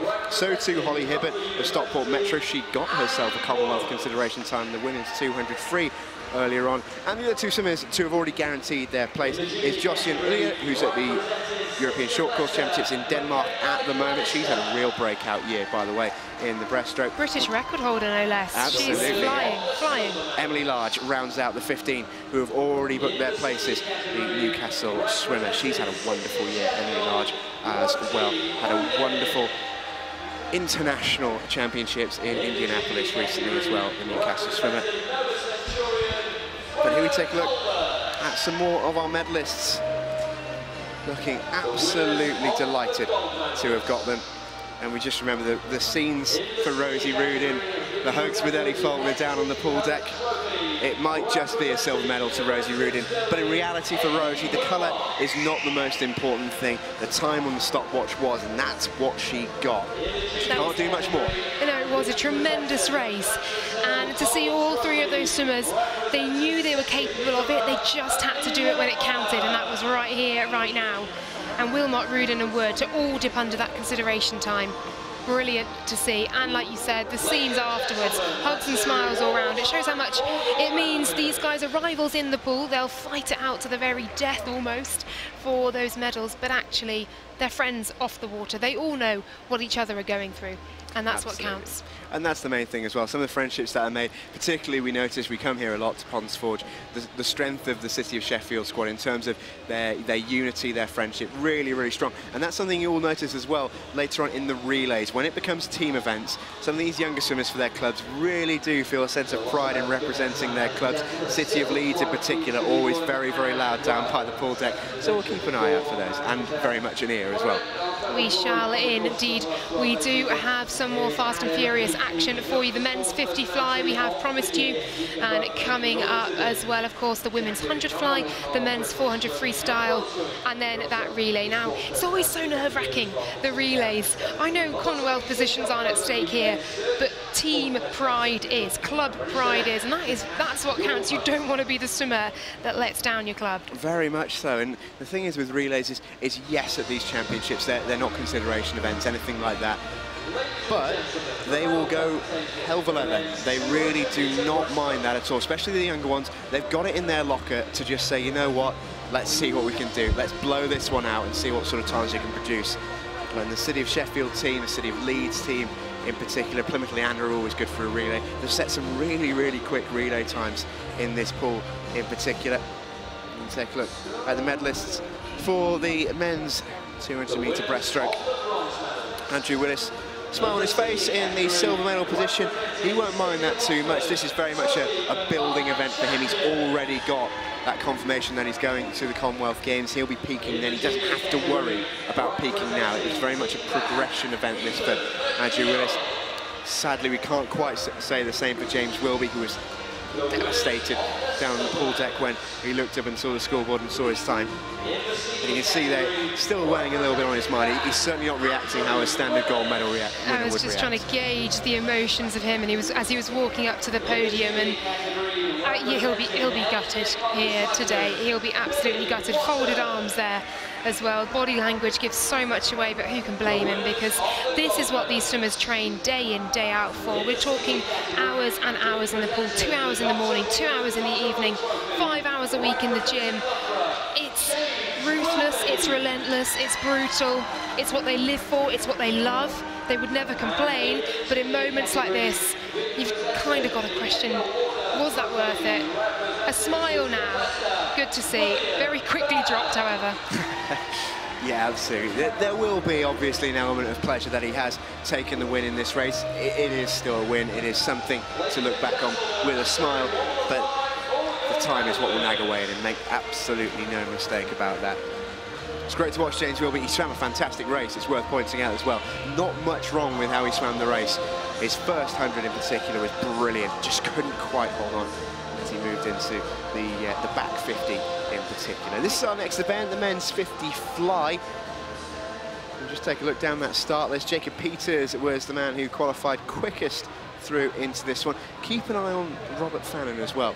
Down at Plymouth Leander, brother of uh, Tom Fannon, and uh, Fannons are very, very quick over short distances, and uh, they are known pretty well to one Ben Proud as well, who uh, they've swum together as a team, as teammates in the past, and I know Ben Proud speaks very highly of Tom Fannon and Robert Fannon as well. So Ben Proud, of course, one of the men who's already booked his place on that plane to Australia, already got himself selected for that Commonwealth Games squad.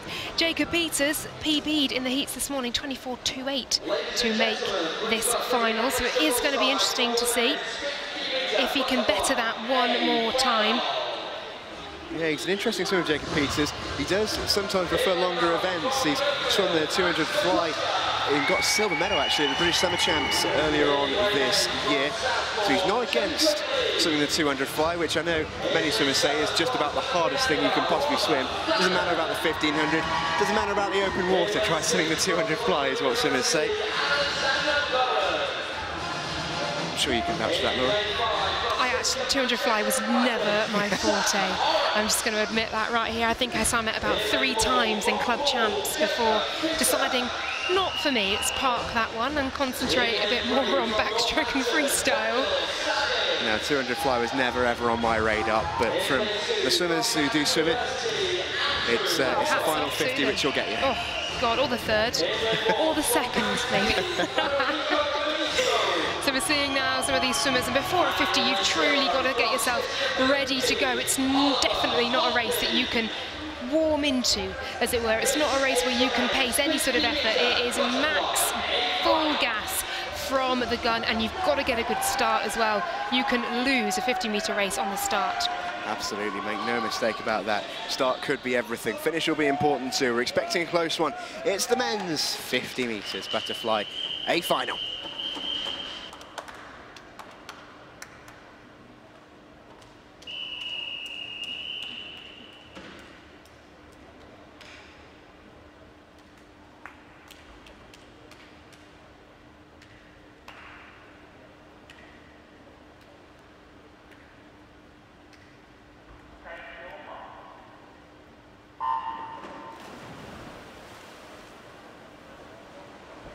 It's always the finest margins when it comes to the 50 fly. It's certainly a great example of that was in the heats earlier. There was a three-way tie, a 24-7 wall concerning Daniel Savage in three, Sam Marks in five, and Alexander Bowen in six. But none of them could get close to Jacob Peter the pool. Can he show that sort of dominance again? We're about to find out in towards the wall. And the answer is a very firm yes. In on 24.28, he takes it. Sam Horrocks in next on 24.37 with Alexander Bowen boasting third spot. They were separated this time around, but they still couldn't catch Jacob Peters, who takes the A final. And astonishingly, Jacob Peters has matched the time he swam this morning. his PB, 24.28, just consolidating. That is 100% um, going to be his new PB yeah, in this confirm. event. Confirming that one. Sam Horrocks taking the second place there as well. Off his PB, 24.71 he came in on, and off his PB, but nevertheless, a silver medal for him today. Yeah, Jacob Peters will be pretty pleased with that. It's always interesting actually with these 50 races. Sometimes you can see personal bests in the heats depending on how a swimmer's feeling. And sometimes you can see them dip below in the evening as well. So Jacob Peters in particular will be happy not just to swim a PB, but to swim it twice in one day. We're sort of joking about how he's consolidated that, but that is a genuine, serious thing. He'll be delighted to have done that. Taking a look now at the start list for our B final. Some really talented youngsters in this one. Lewis Burras and Sam Daly in lanes four and five made it in the quickest time. Sam Daly has won so many junior medals in this pool. I'm sure he's almost lost count. Really, really talented young swimmer. I'll be interested to see how he can go against Lewis Burras from Southport, who does love this event. William Cole from City Bristol in lane three was the next closest to them in the heats this morning. And lane two as well. Cameron Brooks Clark swimming in his home pool in the city of Sheffield. Interesting there you mentioned about PBing and then going faster in the final. Often it's very difficult for a 50 metre swimmer, indeed for, for any swimmer to come out of the blocks firing in early morning heats. Some heats, this morning we had 9 a.m., but heats can be swum earlier than that, and so you've got to get used to coming out absolutely on form from the gun, especially if you're vying to make a final, or indeed you want to be in one of those central lanes. You've got to go from the gun, especially in a race like a 50 where you cannot hang around. Absolutely. Sometimes in longer races, an element of every swimmer swims a bit slower. It's sort of expected and there's a bit more tactics to it. 50, no such thing. You go and you go fast. And that's what we're expecting in this. Men's 50 metres butterfly B final. Should be a close one. Let's find out with Jonathan Bell.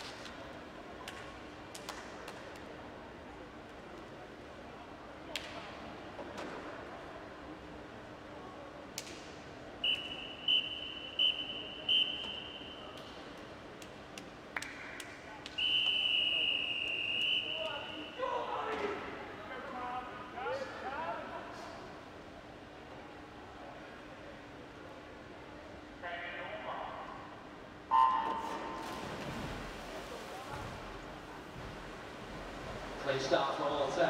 First to raise his head out of the water is Lewis Burras of Southport in lane four with a lot of purpose about him as well. He's doing in the East this morning. The only one sub 25 on 24.98. It's going to be a bit of a quicker time that's going to have to settle this one. A good swimming zero from Kevin Wallbank of Loughborough University. It could be anyone's this. In towards the wall they come. And Miles Munro of Bath University is the one in the end that wins that 50 metre lottery on 24.76. Eduardo Valsecchi in the outside lane for Plymouth Leander doing superbly well. He qualified for this final on a swim off earlier on and has lodged himself right into the top three there on 24.77. And Lewis Burras of Southport, he has to settle for third.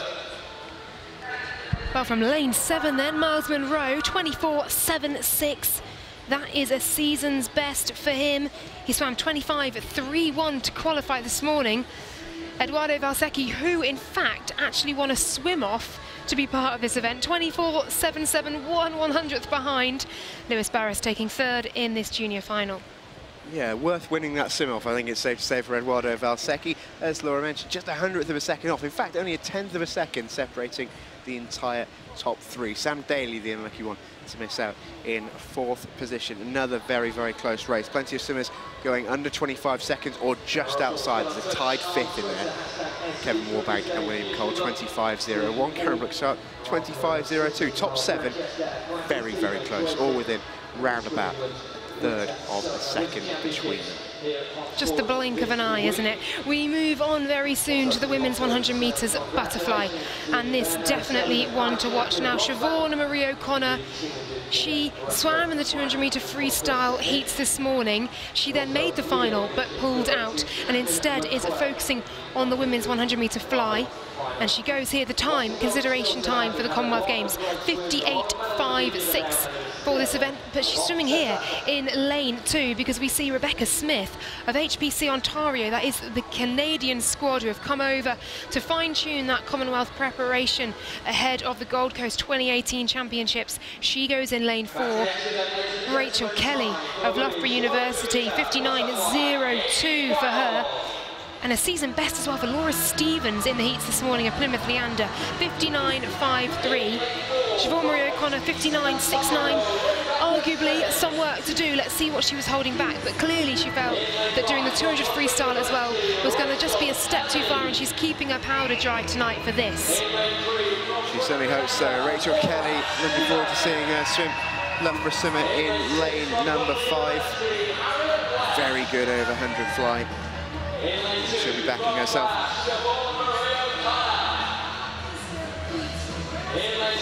There is Siobhan Marie O'Connor in her distinctive pink cap. Never goes anywhere without it, I've been told. Siobhan Marie O'Connor also saw there Kiara Schlossen coming out as well. Now she is a European junior silver medalist over 200 metre fly and she was within one second of the consideration time here. Now a second over 100, that's not necessarily a close margin in races where indeed medals can be decided by hundreds. But actually Kiara Schlossen, again, like Holly Hibbert, like Luke Greenbank, one of those swimmers who's just been coming through the ranks. She's the next generation of British, of English swimmer, and I'm very interested to see what she can do here today. Yeah, this is this is where she gets to put herself up to the, up to the limit. Likes of Siobhan Marie O'Connor, Ellie Faulkner, really, really good swims, swimmers, I should say and it should be interesting to see how she can compete against them. There she is. What sort of time can we see from Siobhan Marie O'Connor? Women's 100 fly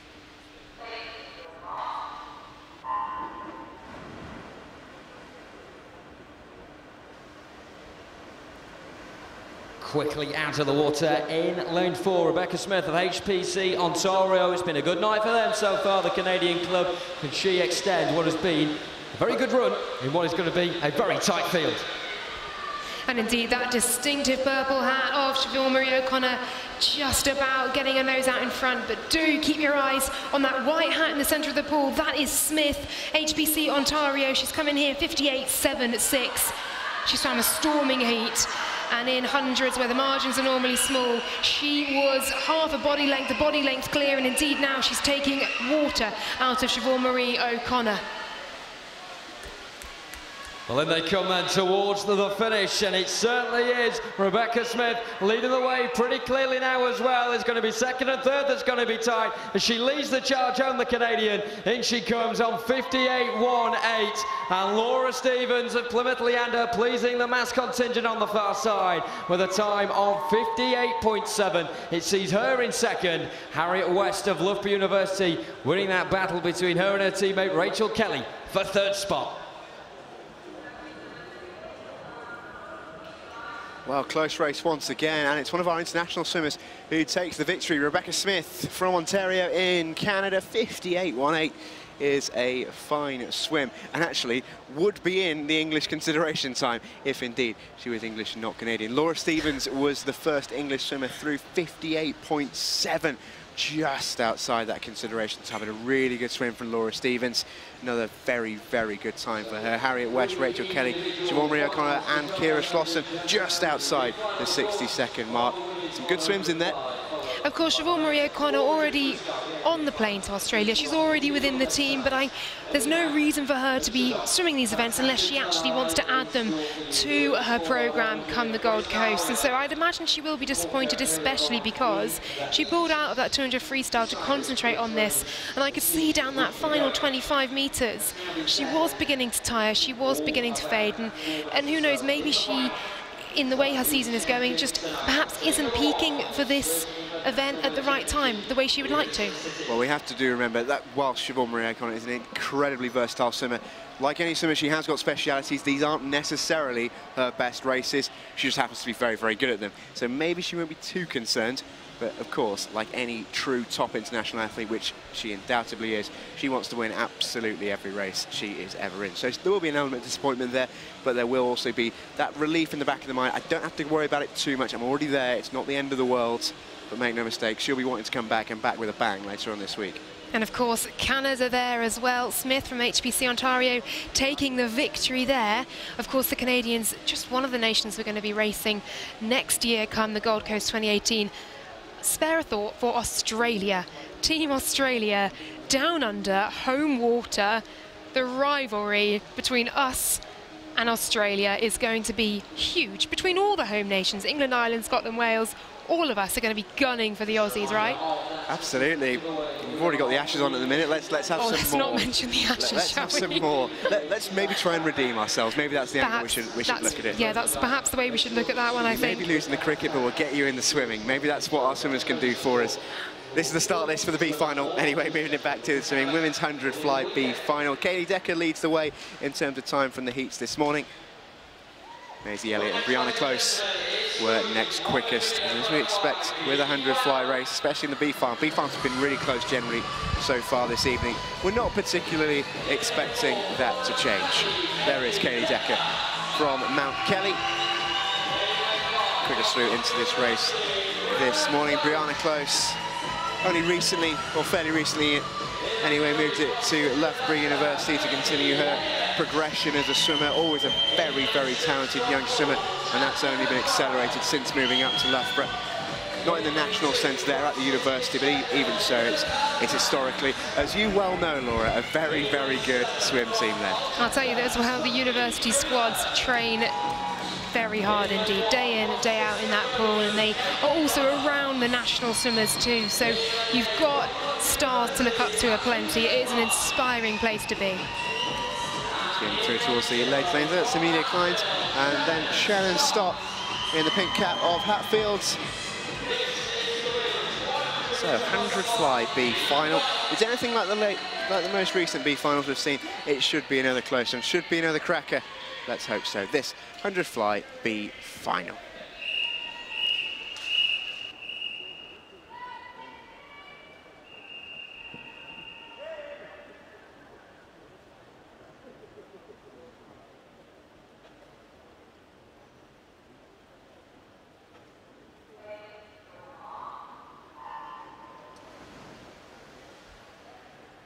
The B finals have been a great opportunity so far tonight to see some of the emerging, exciting talent in English swimming. Kaylee Decker, certainly no different. Lane 4, 101.52, the quickest heat time this morning. And she has made a very strong start indeed so far. But just as quick in five, Brianna Close of Loughborough University. We do indeed. Jasmine McRae, it looks like, no, eyes on the centre of the pool and close there with the fastest time at the 50, 28.54 from lane 5. McRae in lane 6, 28.61.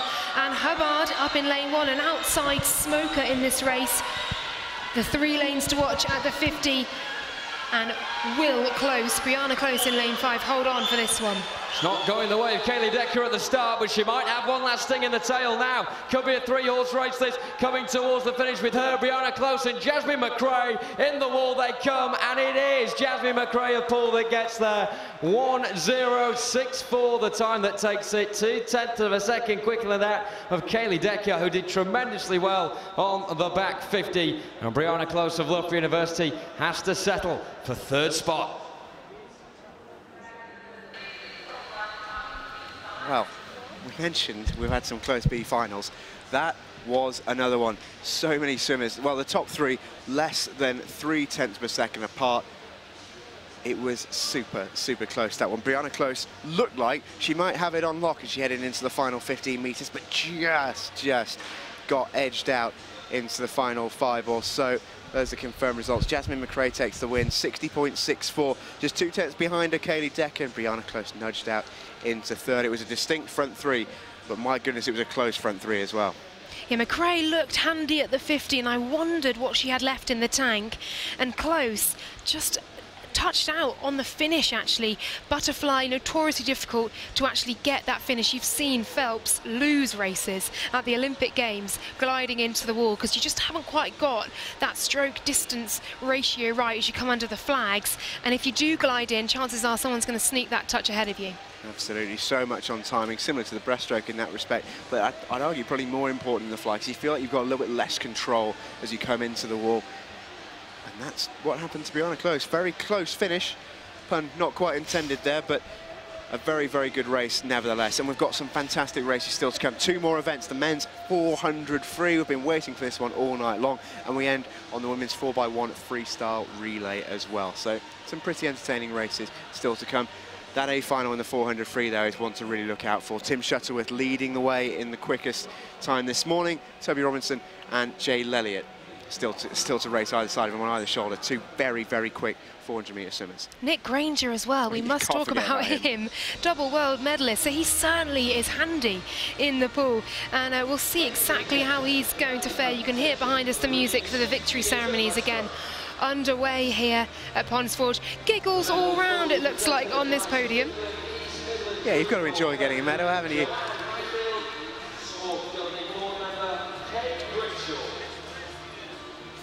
Yes, swimmers certainly have been enjoying themselves, which is certainly an important thing at these championships. We mentioned how the event feels bigger, the pressure is more on these swimmers, but there has to be that element of enjoyment. At Nationals, it's what these, these guys look forward to.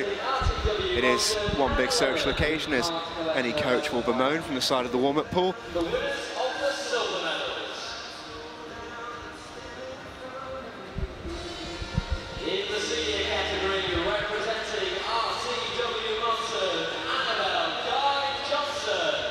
Fine swim actually from Annabel Guye-Johnson to get the silver medal in that event. The seniors swam really nicely. And they're just in the background, they're not sure if that came across for you. The City of Leeds girls are very vocal when one of their teammates wins a medal. Pretty high pitched as well. Yeah. That was piercing. That was that, piercing. that will happen. Just wait for the relays though. If you want that to get louder, that, that will also happen. It's brilliant to see in these domestic competitions all the swimmers truly supporting each other off the water and actually shows how close-knit the swimming community is. Ladies and gentlemen, let's hear it one more time for your medal winners.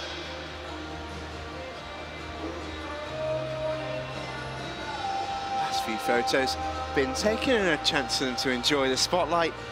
One for the Facebook profile photo, no doubt.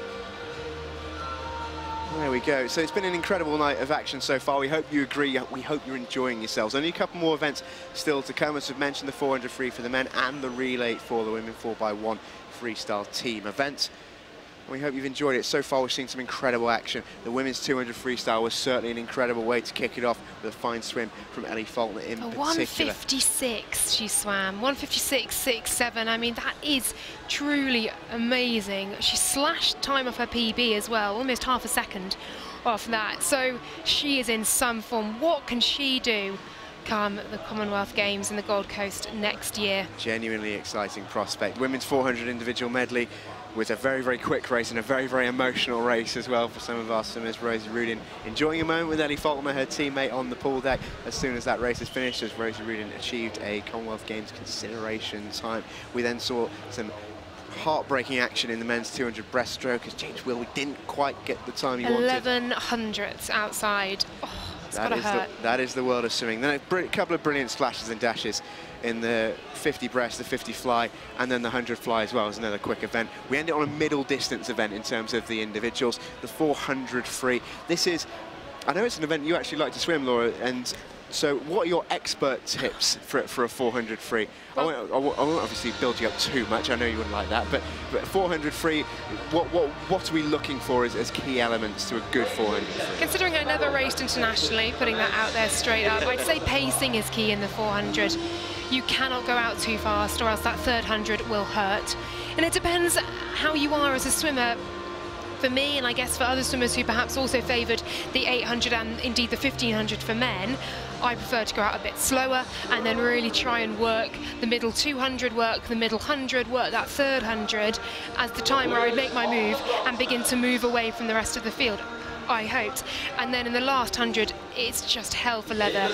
Get home, touch that wall first. But, uh, you know, we say it's um, a distance event. I've lost uh, 400 freestyle by hundredths of a second. It can happen in any event. That will absolutely happen, absolutely. So there's an interest in terms of how swimmers approach those races, and there will be a, a, couple of styles clashes as well. Timothy Shuttleworth is a fantastic open water swimmer, got a medal out in Budapest at the Open Water Championships this year. Jay Lelliott as well, a very fine distance swimmer. Nick Grainger prefers the slightly shorter distances. 200 freestyle is really where he thrives. He got medals in, in Budapest and Kazan in the 4x200 free. Excellent 200 swimmer. So 400, he's swimming up in that in that sense. But he's got the power, the raw power that maybe Tim Shuttleworth and Toby Robinson, Jay Lelliott don't quite have. He's got that fast twitch, that turn of speed, and that, I guess, that sixth gear almost, and perhaps we'll see that come into play here. Worth mentioning, though, as we do see the medals being handed out for the 50-metre butterfly, James Guy, who has already been selected in this event, swimming, of course, for the University of Bath. He's a double Olympic silver medalist from Rio 2016 in the 4x200 freestyle relay, and indeed the 4x100 medley relay too and of course 2015 world champion over the 200 metre distance as well. The fact he's already been selected must give a fellow 200 metre swimmer like Nick Grainger that little bit of hope, a little bit of spark there that he too can make that step up to the 400 and make it count here against guys who prefer the 1500, the longer distances. Yeah, James Guy has been a phenomenon again this year in the swimming world. Just seems to be one of those swimmers who just keeps getting better and better and better. We thought we might have seen him at his peak in Rio. He's pretty wrong, and he keeps swimming fantastic times at national level to set him up for those international events. He'd probably say himself he'd like to do a little bit better at those international events. He feels like he's got more to give. He's still got plenty of time on his side, though. And James Guy, of course, in 2014 in Glasgow at the Commonwealth Games, he picked up a bronze medal, so it's going to be intriguing to see what he can do coming into Australia and the Gold Coast next April. Just a few months to go before we see another international sporting event, and indeed some of our best swimmers firing on all cylinders. You can see there the start list then for this men's open meter 400 freestyle. Yeah, Tim Shuttleworth leading the way in the heat this morning. Loughborough University swimmer. Swimming alongside his teammate Toby Robinson. Jay Lelliott is a very, very good 400 metre freestyle swimmer. He swims now at the city of Sheffield. He'll be looking to build on some times that he set earlier this year. He was actually at the University Games in, uh, in Taiwan looking to build himself a Commonwealth time. Didn't quite manage it there. This is one of those times where it's as you mentioned very much at the start, it is that last chance saloon element to it. And we've seen Canadian swimmers today, we've seen Irish, we've got Qatari swimmers, Ukrainian swimmers, we've now got Lander Hendrickx in this event as well. He's a Belgian swimmer coming over here to Sheffield, dealing with a bit of fatigue, I'm sure, from travel, coming into this 356.68. And so he'll be looking to make his mark alongside the big guns from England. Worth noting, as always, the consideration time for the Commonwealth Games for this event, 3.47.79. James Boy, Guy already qualified, dipped under that time. What can Jay Lelliott, Nick Grainger and Tim Shuttleworth do? Well, they'll be hoping to get underneath. Tim Shuttleworth in this very event won the 400 metre goals last year. Bear in mind that was a short course event, so he was a little bit quicker than he necessarily go over long course. But he's a, he's a 1500 metre swimmer by speciality, so dipping down to a 400, which changes his style, changes how he approaches the race, no doubt about that. Jay Lelliott, very, very familiar with swimming 400s. He took the silver in this event last year over a short course distance. Took the bronze at the Summer Championships earlier on this summer. An interesting one this for Dave Hemmings, the Loughborough coach, coach of both Tim Shuttleworth and Toby Robinson. So he's going to have to have both eyes trained on lanes four and three. Final confirmation of that start list. We are looking forward to this one. It's the men's 400 metres freestyle A final.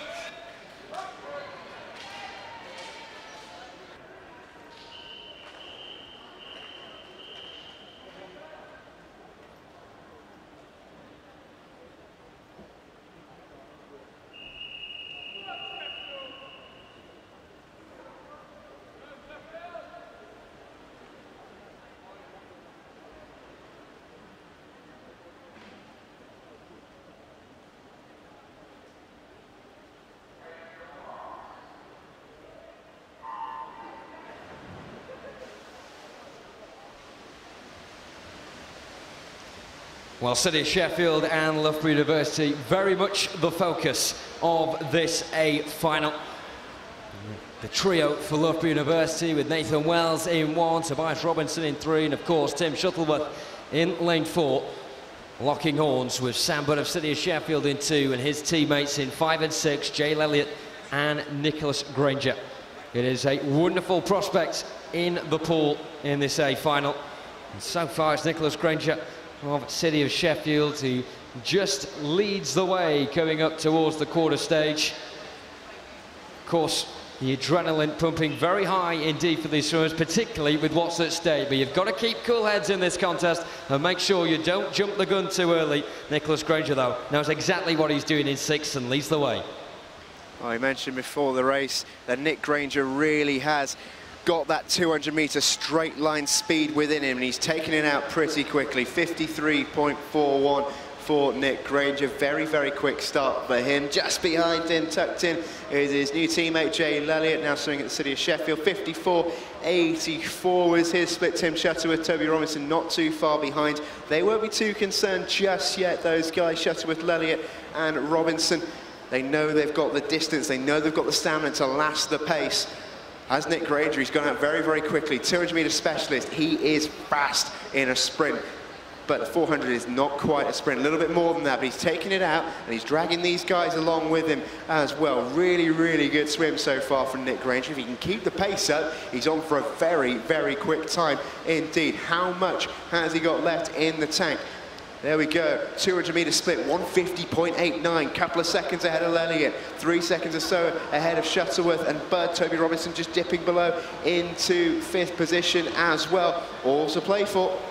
Well, the amount of spray kicking from these swimmers very much contrasting right now. In four and five, Tim Shuttleworth and Jay Lelliott beginning to kick stronger. However, to their left in lane six, Nick Grainger has just slightly took his foot off the gas a wee bit, and maybe that could have been a sign of him going slightly early in this one. But the superiority of Tim Shuttleworth and Jay Lelliott really there now for all to see. Timing this one very well indeed. But it's Lelliott of City of Sheffield that has his nose in front in that duel at the front. The rest of the pool all in pursuit of that man with the red cap right now.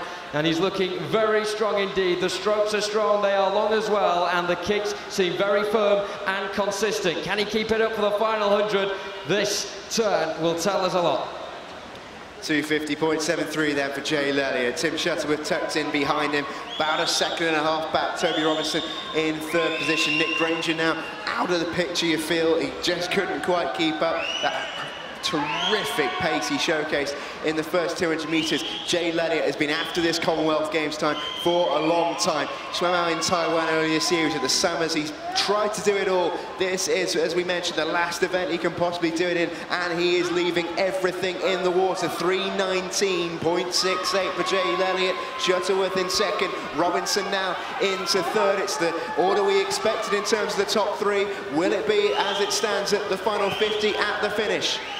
Jay Lelliott really coming on strong now. Just four hundredths of a second separated him and Tim Shuttleworth in the heats earlier on today. We could be born wrong four seconds. Now a late burst from Tim Shuttleworth into the final throws, but it won't be enough to stop Jay Lelliott. Time to perfection. Fantastic swim from him in his home pool as well. 347.85 ultimately cruising to it by 2.4 seconds ahead of Tim Shuttleworth. Sam Budd of City of Sheffield makes it a Steel City 1-3 with his time of 353.12. But take a bow, Jay Lelliott.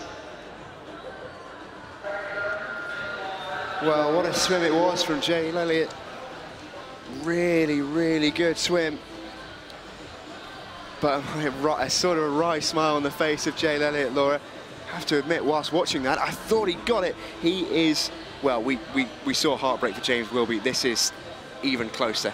So the consideration time then, 3.47.79. Jay Lelliott, he put his head in his hands when he looked up at the scoreboard. There it is, 3.47.85, six one hundredths away from the Commonwealth Games. This is quite tough watching this and watching the disappointment on the faces of, the, of these swimmers as they come out of the pool having given everything and come up 600 short. Well, Jay Lelliott will will be really disappointed with that. He swam such a good race. He had to do it a lot out on his own as well, which is always tougher to do. He took it up, and to be six hundredths off, it really doesn't get much closer. Do you know, though, I wonder actually how perhaps distracting or unusual it was to see someone like Nick Grainger, who he has the 200 free tomorrow. That's clearly going to be one of his target events here. And he went out really hard over the first 200 and then just sat straight back. And so he changed the dynamic of the race entirely. And I wonder if that played any part in the others' thinking or whether indeed actually Jay Lelliott swam his own race and just fell short by six hundredths. You can't get much shorter than that. Real, real shame for Jay Lelliott. He's had such a good year. Silver medalist at the World University Games behind a very, very good swimmer in Romanchuk from Ukraine. But we have to move on. It is the B final. There's still plenty more racing to come. We've got the B final here in the 400 metres freestyle.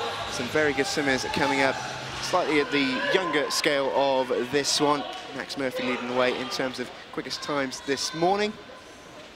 Regan Lloyd and Sam Osborne will offer the closest possible times in lanes five and three. But as so often we see with the 400, winners can come from anywhere. Have to wait and see. This is the B final.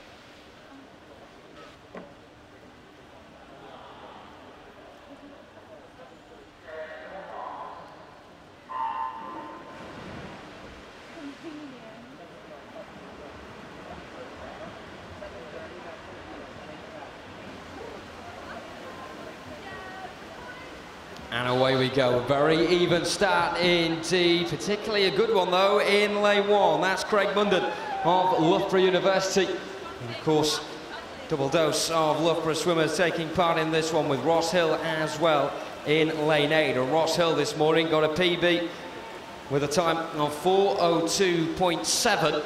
Can he squeeze a bit more out of himself in this one? He's against a very competitive pool indeed in this B final. Will that be enough to spur him on to even quicker things? Right now, though, no one really taking a burst towards the front. It's very even Stephen indeed as we come towards the quarter stage of this B final. Well, we've talked about pacing. We saw Nick Grainger there fly out of the blocks and indeed I think just a post a time for 200 ahead of the 200 free tomorrow. But here we've got Craig Munden who went out very fast over that first 50 for Loughborough University. He's now faded ever so slightly. Ross Hill, his Loughborough University teammate, has come through 57.12 at that first 100 metre touch, 57.45 for Max Murphy. Sam Osborne, City of Birmingham swimmer in lane three, coming through 57 five, eight. There's your top four swimmers also as they come to the 150 turn.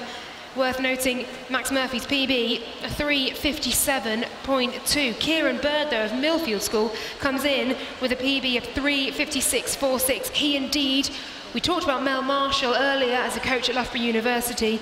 Max Murphy, sorry, Kieran Bird, coached by Euan Dale, also a former Olympian as well, and indeed a swimmer at Loughborough University.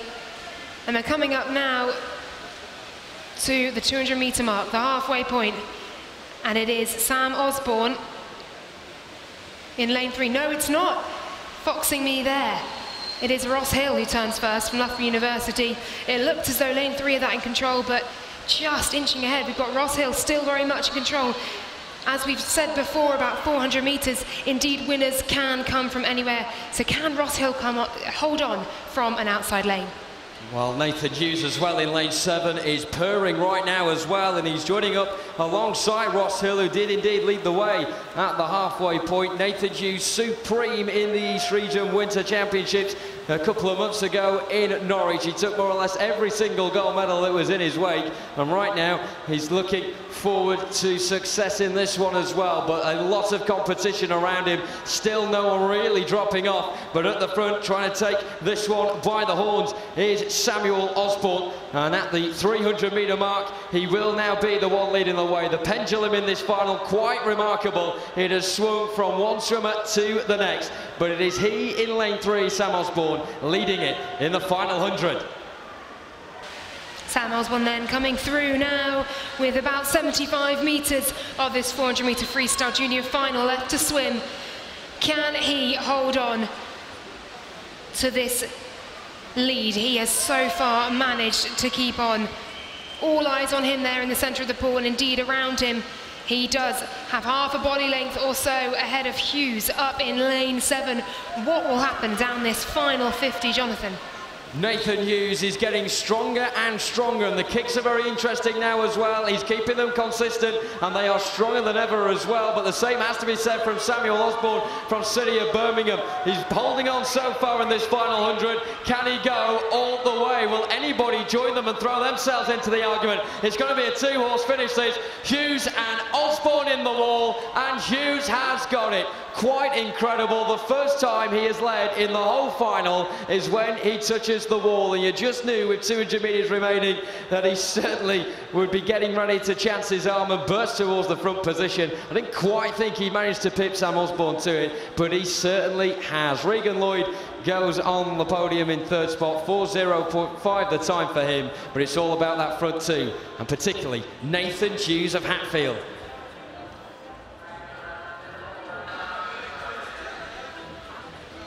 Oh, another tremendous race, and we mentioned uh, you've been edged out a few times with by hundredths of a second. All right, let's Laura. not. I don't want to dwell on it, it, but these were words you said. Nathan Hughes there, pipping Sam Osborne to the post. 358.41 the winning time for Hughes. Just about two tenths of a second ahead of Sam Osborne. I must say it looked closer than that as well. So I think Nathan Hughes has finished really strong with an underwater there. And Sam Osborne not so much so. But that's another fantastically close race. Brilliant racing we're seeing this uh, evening. Really, really impressive stuff. Not just from the guys going for Commonwealth times, but also from these junior races where they're they're really stepping up to the plate. And actually, sometimes that makes more of the exciting races. They're less formulaic, less predictable. And like we said, winners can come from anywhere in the pool. And I love seeing an outside burner in lane eight, lane zero, lane one, or lane you know lane two actually coming through and taking the win because it just means that the heat hasn't quite gone the way that perhaps those who qualify fastest think it has. And we're just uh, going to take a little look at tomorrow's schedule. We're just about near the end of today. We've still got one more event, the women's 4x1 freestyle relay. This is what we've got to look forward to tomorrow, the men's 100-metre breaststroke. No prize for guessing who's already qualified in that event. He's not here, unfortunately. He's at the World Short, the European Short Course Championships in Denmark. Can anyone follow in his footsteps? Adam Peaty. Women's 100 backstroke then follows that. Men's 200 free, we'll see Nick Grainger. He's just warmed up for it in the 400. Women's 53 then follows that. Men's 400 IM. Will we see similar motion to the women that we saw in the event today? Women's 800 meter freestyle. And then it's the men's 4x1 freestyle team. Another wonderful day swimming to come. It is indeed. We will have the heats live for you during the day as well before the finals. Uh, once again, live here on a BBC, BBC Sport website website, app and connected TVs as well. We'll have the fastest heat of that women's 800 metre freestyle to bring you. Of course, Holly Hibbert, quite the swimmer in the 800 freestyle, so it'll be very interesting indeed to see her perform tomorrow. And of course, another relay. We have one more relay to come, so don't go anywhere if you're sitting at home. We do have the women's 4x100 freestyle relay to come, and I think a few medal ceremonies as well. Yeah, always worth sticking around for the relay fabulously entertaining. Not necessarily always the, the quickest times or the best swims, but you are guaranteed a little bit of pandemonium, which you don't always get in a swimming race. And don't make any mistake about it, we will see a little bit of pandemonium in the relays. It's going to be fun. It's going to be exciting. So just to reiterate then, the swimmers who have already booked their places for the Gold Coast next year. Adam Peaty, James Guy, Ben the Proud, Siobhan Marie O'Connor, Molly Renshaw, Ellie Faulkner, who of course we saw in action in the 200 freestyle today. Quite the victory for her and quite the time as well. Andrew Willis, Max Litchfield, Lizzie Simmonds goes in the backstroke, the 100 and the 200. Freya Anderson, Sarah Vasey, Luke Greenbank, who we saw just miss out in the 100 metres backstroke tonight, but booked his place regardless. Jocelyn Ulyett as well, British record holder over breaststroke. Holly Hibbert, who we saw also perform very well indeed this evening. And Emily Large to add to that list, Aimee Willmott and Rosie Rudin, who today have dipped under consideration times whether actually they'll be on the plane is not up to us. to make that decision No, here. thank goodness. I Thank would not goodness. like that That's pressure. exactly. Uh, but it will be up to the selectors and the decision makers within Swim England and within Team England themselves. That decision coming as well. Abbie Wood also in that 400 IM, adding her name to the mix. Three swimmers of a maximum three qualifying in the consideration time in that event. That's really probably one of my favourite events of the night, actually, the 400 IM. Brilliant scenes both in and off the water as well. But I can see you chomping at the bit to get going with this one. It is time for the relays. We can see the clubs coming out. Yeah, I do love a relay. Take a look, by the way, at that Stockport Metro team, only in lane two, but they've got the likes of Katie Matz and Holly Hibbert in their squad. Looking forward to see what those guys produce. Quickest team into this final were Mount Kelly. They went 3.59.59 this morning, only just quicker than Hatfield and City of Oxford. If the morning's anything to go by, it should be a belter. Final race, women's 400 metres freestyle team event final.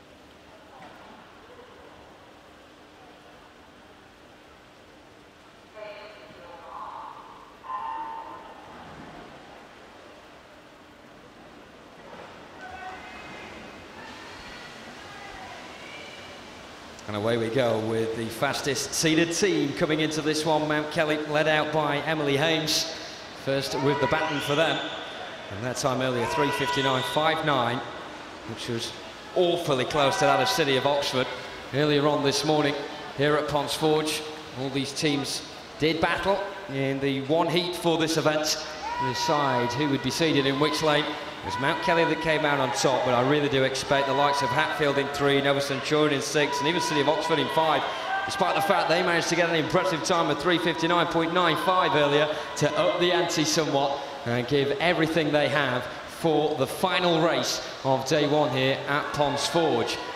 And that being shown exactly now by Stockport Metro. They're the quickest out of the traps. Elizabeth Harris passing over to Madeline Crompton. Yeah, tremendous start from Elizabeth Harris in lane number two. Mentioned just before, keep an eye out on legs three and four for Katie Matz and Holly Hibbert, but a great start from Elizabeth Harris, leading into Maddie Crompton in lane two. Coming through now in four, that's Mount Kelly and Athena Clayson. They've got Kaylee Decker and Georgina Dennis waiting in the wings for them. Really close for third at the moment in lanes five and six. That's Yasmin Tajali for City of Oxford in five, Freya Colbert for Nova Centurion in six. Hatfield in lane three are next, and Pioneer 79 in lane seven are bringing up the rear as it stands. But a close race this one. We expected it, we wanted it, and we've got it.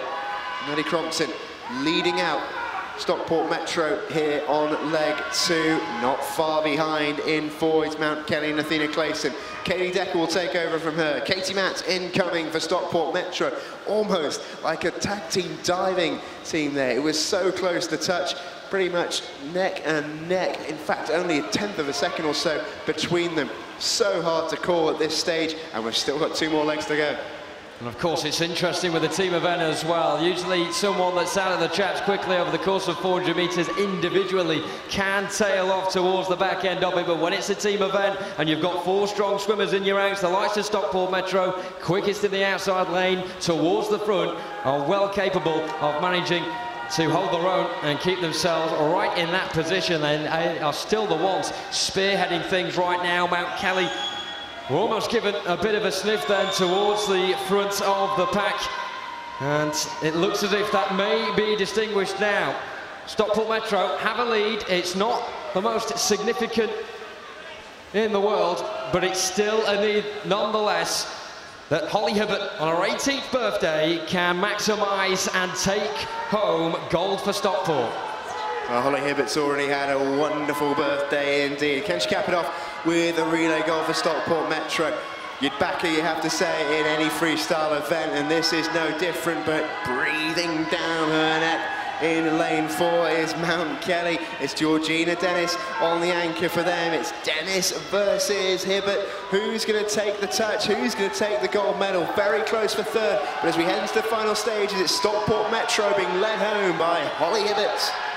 It's awfully close to the front and it's awfully close for third position as well. In lanes five and six, you've got Kate Mills, the City of Oxford, and Annie Pearson of Nova Centurion. They're jostling away for the bronze medal, but it's the gold that's on offer here, and Stockport Metro have led the way throughout, and Holly Hibbert will come home to claim the gold for her team. 350.45 the time. Mount Kelly, they chased all the way, they did their best. The pursuit from Georgina Dennis in the end was not quite enough. 551.27, they have to settle for second. And Nova Centurion winning that almighty tussle for third with a time just south of 358. Well, we thought we'd end with a with a real finish, and the relay was exactly that. It really was. What a fun event that is. So good to watch these swimmers having fun as well, actually. Relays are that. They're a bit of light relief. Yes, they mean something to swimmers, especially at international level. And indeed, GB and England have a lot of success in relays over the course of the Olympic Games, the World Championships, the Commonwealth Games. But when you see them at this level, domestic level, it's brilliant to see swimmers have a little bit of pressure taken off their shoulders. And actually, that's sometimes when some of the quicker swims will come out, when you're not just racing for yourself and actually you're racing for your teammates. And in fact, certainly some of these swimmers will be swimming very, very fast indeed in that pool. Absolutely nothing to lose, all to gain. Make no mistake, that Stockport Metro group of girls has been very, very talented at youth level through national level for a good few years. And Katie Matt, Holly Hibbert, Maddie Crompton, Elizabeth Harris, they've all sort of come up together at the same time and that makes the victory even sweeter for Stockport Metro there. 350.45 the winning time. Mount Kelly in second, Nova Centurion just nudging out City of Oxford into fourth. A good night for Holly Hibbert as well. Dipping under that consideration time for the Commonwealth Games, and then, you know, the win in the relay as well. And then you get to sign it off with your 18th birthday. Like, how, how how how good can an 18th birthday possibly get? That's that's what I want to know. Tremendous day for Holly Hibbert, and congratulations to her, and no doubt all her family who are watching as well. Your highlight for the evening? Annoyingly for you, I think it's going to be the same as yours, and it's Rosie Rudin's reaction for Ellie Faulkner. If I had to guess what yours was, I'd guess it'd be that. An incredibly emotional moment. Obviously, we've seen Rosie and, and Ellie swim at these sort of competitions for a very long time. They're very, very good friends. Home pool, City of Sheffield it was just a lovely moment. It clearly meant a lot to Rosie Rudin and indeed to, to Ellie Faulkner, who, who now has her mate possibly on the plane with it. And I'm sure they'll book seats next to each other if that becomes the case. Very, very good pals. I'm going to choose same event, actually, but just change the swimmer. I think for me it's Aimee Willmott. She withdrew from Budapest 2017 World Championships with a knee injury. And I bet, and at that point, she probably thought, will I be on a plane to Australia? Will I be at the Commonwealth Games? Today, she swam the consideration time she needed to, and now it's up to the selectors to take her out there. So actually, redemption for her tonight in Sheffield. But that 400 IM, with all three swimmers going under the consideration time needed, uh, for a maximum of three swimmers in that event, that for me was a highlight, for That's sure. going to be one tough decision to make. As we keep mentioning, we do not envy the decision makers. A couple of very, very near misses tonight as well. Some real heartbreakers. Oh my goodness to me. Jay Lelliott as well, his face at the end of that 400 metre freestyle. And of course Luke Greenbank, Chris Walker-Hebborn, neither making it through either in the 100 metres backstroke. Luke Greenbank's already in the squad, but Chris Walker-Hebborn is not. So for him, real disappointment. We look ahead now to tomorrow. Let's take a look at the schedule and see what's coming up on day two of this National Winter Championships here in Ponds Forge in Sheffield. And there we go. We're starting once again 4:50 p.m. We'll have heats from the morning, but on BBC Sport website, app, and connected TV as well. We'll be live from 4:50 p.m. for the finals. The men's 100 metre breaststroke, the women's 100 metre backstroke, the men's 200 metre freestyle, women's 50 freestyle, men's 400 IM Women's 800 freestyle I'll see the fastest heat, the fastest 10 swimmers going there, and the men's 4x100 freestyle team relay as well. So lots to look forward to. A standout event for you, Steve? I'm really excited to see what the men can produce in the 400 IM. They've got a lot to live up to after the, after seen what the girls did earlier on this evening. And I always love a medley. It's, it's my favourite race. Prefer a 200 to a 400 if I'm being overly fussy, but it's still going to be a fantastic event. Looking forward to seeing what the guys can do. And I just want to see if Nick Grainger is going to make it to the start of the 200 freestyle. He went out in that 400 chronically quick, and obviously that was his strategy to he, see what he could do. Yeah, he had, he had a tactic today just to see where he, where he was at, what he was doing in the 200. He perhaps realised from the heat that the 400 was a step too far for him. He wanted just a quick blowout, really, in that final to see exactly where he was at. And I think he touched in 150 there, thereabouts, over the 200 brutally quick. Um, and you just wonder what he's capable of tomorrow. It'll be interesting to see him race for sure. Absolutely, make no mistake about that. Currently looking at some medal ceremonies from one of the events we had earlier on. This is the women's 100 fly ceremony.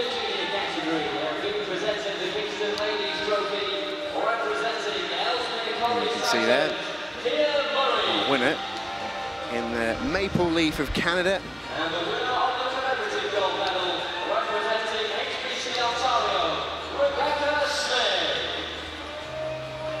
Ran a terrific race as well.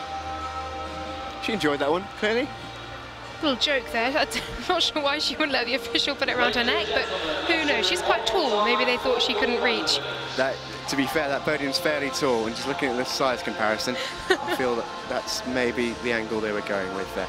But genuinely fantastic to see the Ontario club out here in Canada, indeed, fine-tuning their Commonwealth preparation here in Sheffield and making the journey over clearly not affected at all by travel and by jet lag and by fatigue in that sense, because that would have been a factor coming into this meet. It's a long old way. It's it a is. long old way. But they're here and they're firing and they're looking pretty handy come the Commonwealth Games. There we go, another look then at what's to come on day two. Pick your favourite event, do come back and join us at 4.50 p.m. And don't forget as well, if you'd like to catch the heats, they're available on the Swim England YouTube channel and the website. So do make sure you look those up ahead of the heat session, which actually, it's worth pointing out, this morning they were tremendously entertaining. So many close swims. I know you were on the commentary for that one. You really enjoyed yourself. And why wouldn't you? You had one race when you had three swimmers finish at exactly the same time. What more do you want from a heat session? I kept trying to call the winner and then looking at the scoreboard and going, oh, there's another swimmer who's got, oh, the third swimmer's got the same time. it's absolutely bonkers to see. And it's really nice actually to see some of those younger swimmers swimming massive, massive PBs and taking huge chunks of their time. And I know from experience how excited and happy they will be at this point in the season to be doing that and also how perhaps relieved their parents and coaches will be as well that those swimmers are on track, on form and doing what they do best. But there we have it for tomorrow, the men's 100 breaststroke, women's 100 backstroke, men's 200 freestyle, women's 50 freestyle, men's 400 IM, women's 800 freestyle and the men's 4x1. Worth pointing out, no Adam Peaty in that 100 breaststroke of course, the man who truly has redefined the sort of times we expect breaststrokers to swim. He is over in the short course championships in Copenhagen in Denmark, swimming for European glory over there. And we'll see who can do what in his absence. Another medal ceremony then to come. Yeah, this is the medal ceremony for the men's 400 metre freestyle and be an interesting one. It's similar to the men's 200 metre breaststroke. Our gold medalist, we can't imagine, will be absolutely elated. You can see there Jay Lelliott, puff of the cheeks, he will be so disappointed. Saw Jay swim out in Taiwan, as I mentioned, at the World University Games, was chatting with him and his coach, Mark Skimming, and they, they mentioned that they were after this Commonwealth Games, so they didn't get it in Taiwan. wasn't a particularly quick pool or anything like that in Taiwan. Obviously, it's a very, very long way away, very different regime and, and training and all that, all the sort of thing that comes with that. So not the easiest environment necessarily to swim a really, really quick time. Jenna has swum in Ponds Forge for years. He knows this pool. He knows what he has to do. And to be so close, we're talking six hundredths of a second here. That is agonising. So much so that when he touched, I thought he'd done it. I had a little clenched fist. I thought it was there. I really did. It was that close, but he was just, just shy. And you can see from his body language there on the podium, still very much trying to digest exactly what has happened. This will have been in his mind for, for months, for the last 12 months at least, for the last two years perhaps, this will have been in his mind. You said there at the World University Games, he won a silver there, today gold, but I bet he'd trade in this gold medal any day of the week. I bet he'd trade in a, lot of medals he's won just for those 700s he needed today. Yeah, good to see a smile on the face of Tim Shuttleworth as well. Silver in this event, not his main event, back to the 1500 for the men. I would imagine very, very good 1500 metre swimmer. That's the event he'll really be targeting in terms of Commonwealth times. But you see that smile on the face of Jay Lelliott, it would have been so much bigger had he just gone 600 of a second quicker. We're, we're talking the smallest fractions here, but that is what elite swimming is all about. It is in the fine margins, it is in the hundredths of a second, and it couldn't have been much closer. Of course, James Guy has already qualified in this event as well, so he will be out in Australia contesting that 400 freestyle on the Gold Coast. And we just wait to see for the team to be selected in the coming weeks who will be joining him and indeed joining the 15 swimmers already selected. 15 have booked their tickets. A maximum of 32 are allowed, so 17 swimmers can book their tickets here and then indeed be officially confirmed and selected in the coming weeks by the chief decision makers, of which Stephen and I are definitely not. So all we can do is just vaguely tell you whether we think they've done all right or not. Yeah, which we've tried to do with, with you tonight. We feel like we've given you a pretty good idea of just how well swimmers have done, and there has been some brilliant swims, even those who just missed out. They've swam fantastic swims. The, the times that Swim England set were very, very tough, deliberately tough, because they want to target the very best medals in Australia completely understandable. So the qualifying, qualifying times are based on medal times that are expected in Australia. If you're not, if they don't think you're going to medal, then they're not going to carry you onto the plane just to have a good time in Australia. It's all about business once you're over there. Of course, swimmers want to go over there and enjoy it, but the pressure is on to win those medals, and that sadly for a couple of our swimmers is the standard which has just ruled them out. Is the medal ceremony for the relay at the end of the night. It was such a good race. It really, really was. Nova Centurion picking up the bronze medal. They were pretty pleased to do that as well. Polly Holden, Freya Colbert, Molly Wright and Annie Pearson there. Few smiles on the faces. I wonder actually if they've lined up in slightly wrong order as their names get read out. Swimmers always do this, I've, I've, I've noticed over the years. Nova, though, swam a very, very fine race in third place, just edging out the city of Oxford by about half a second.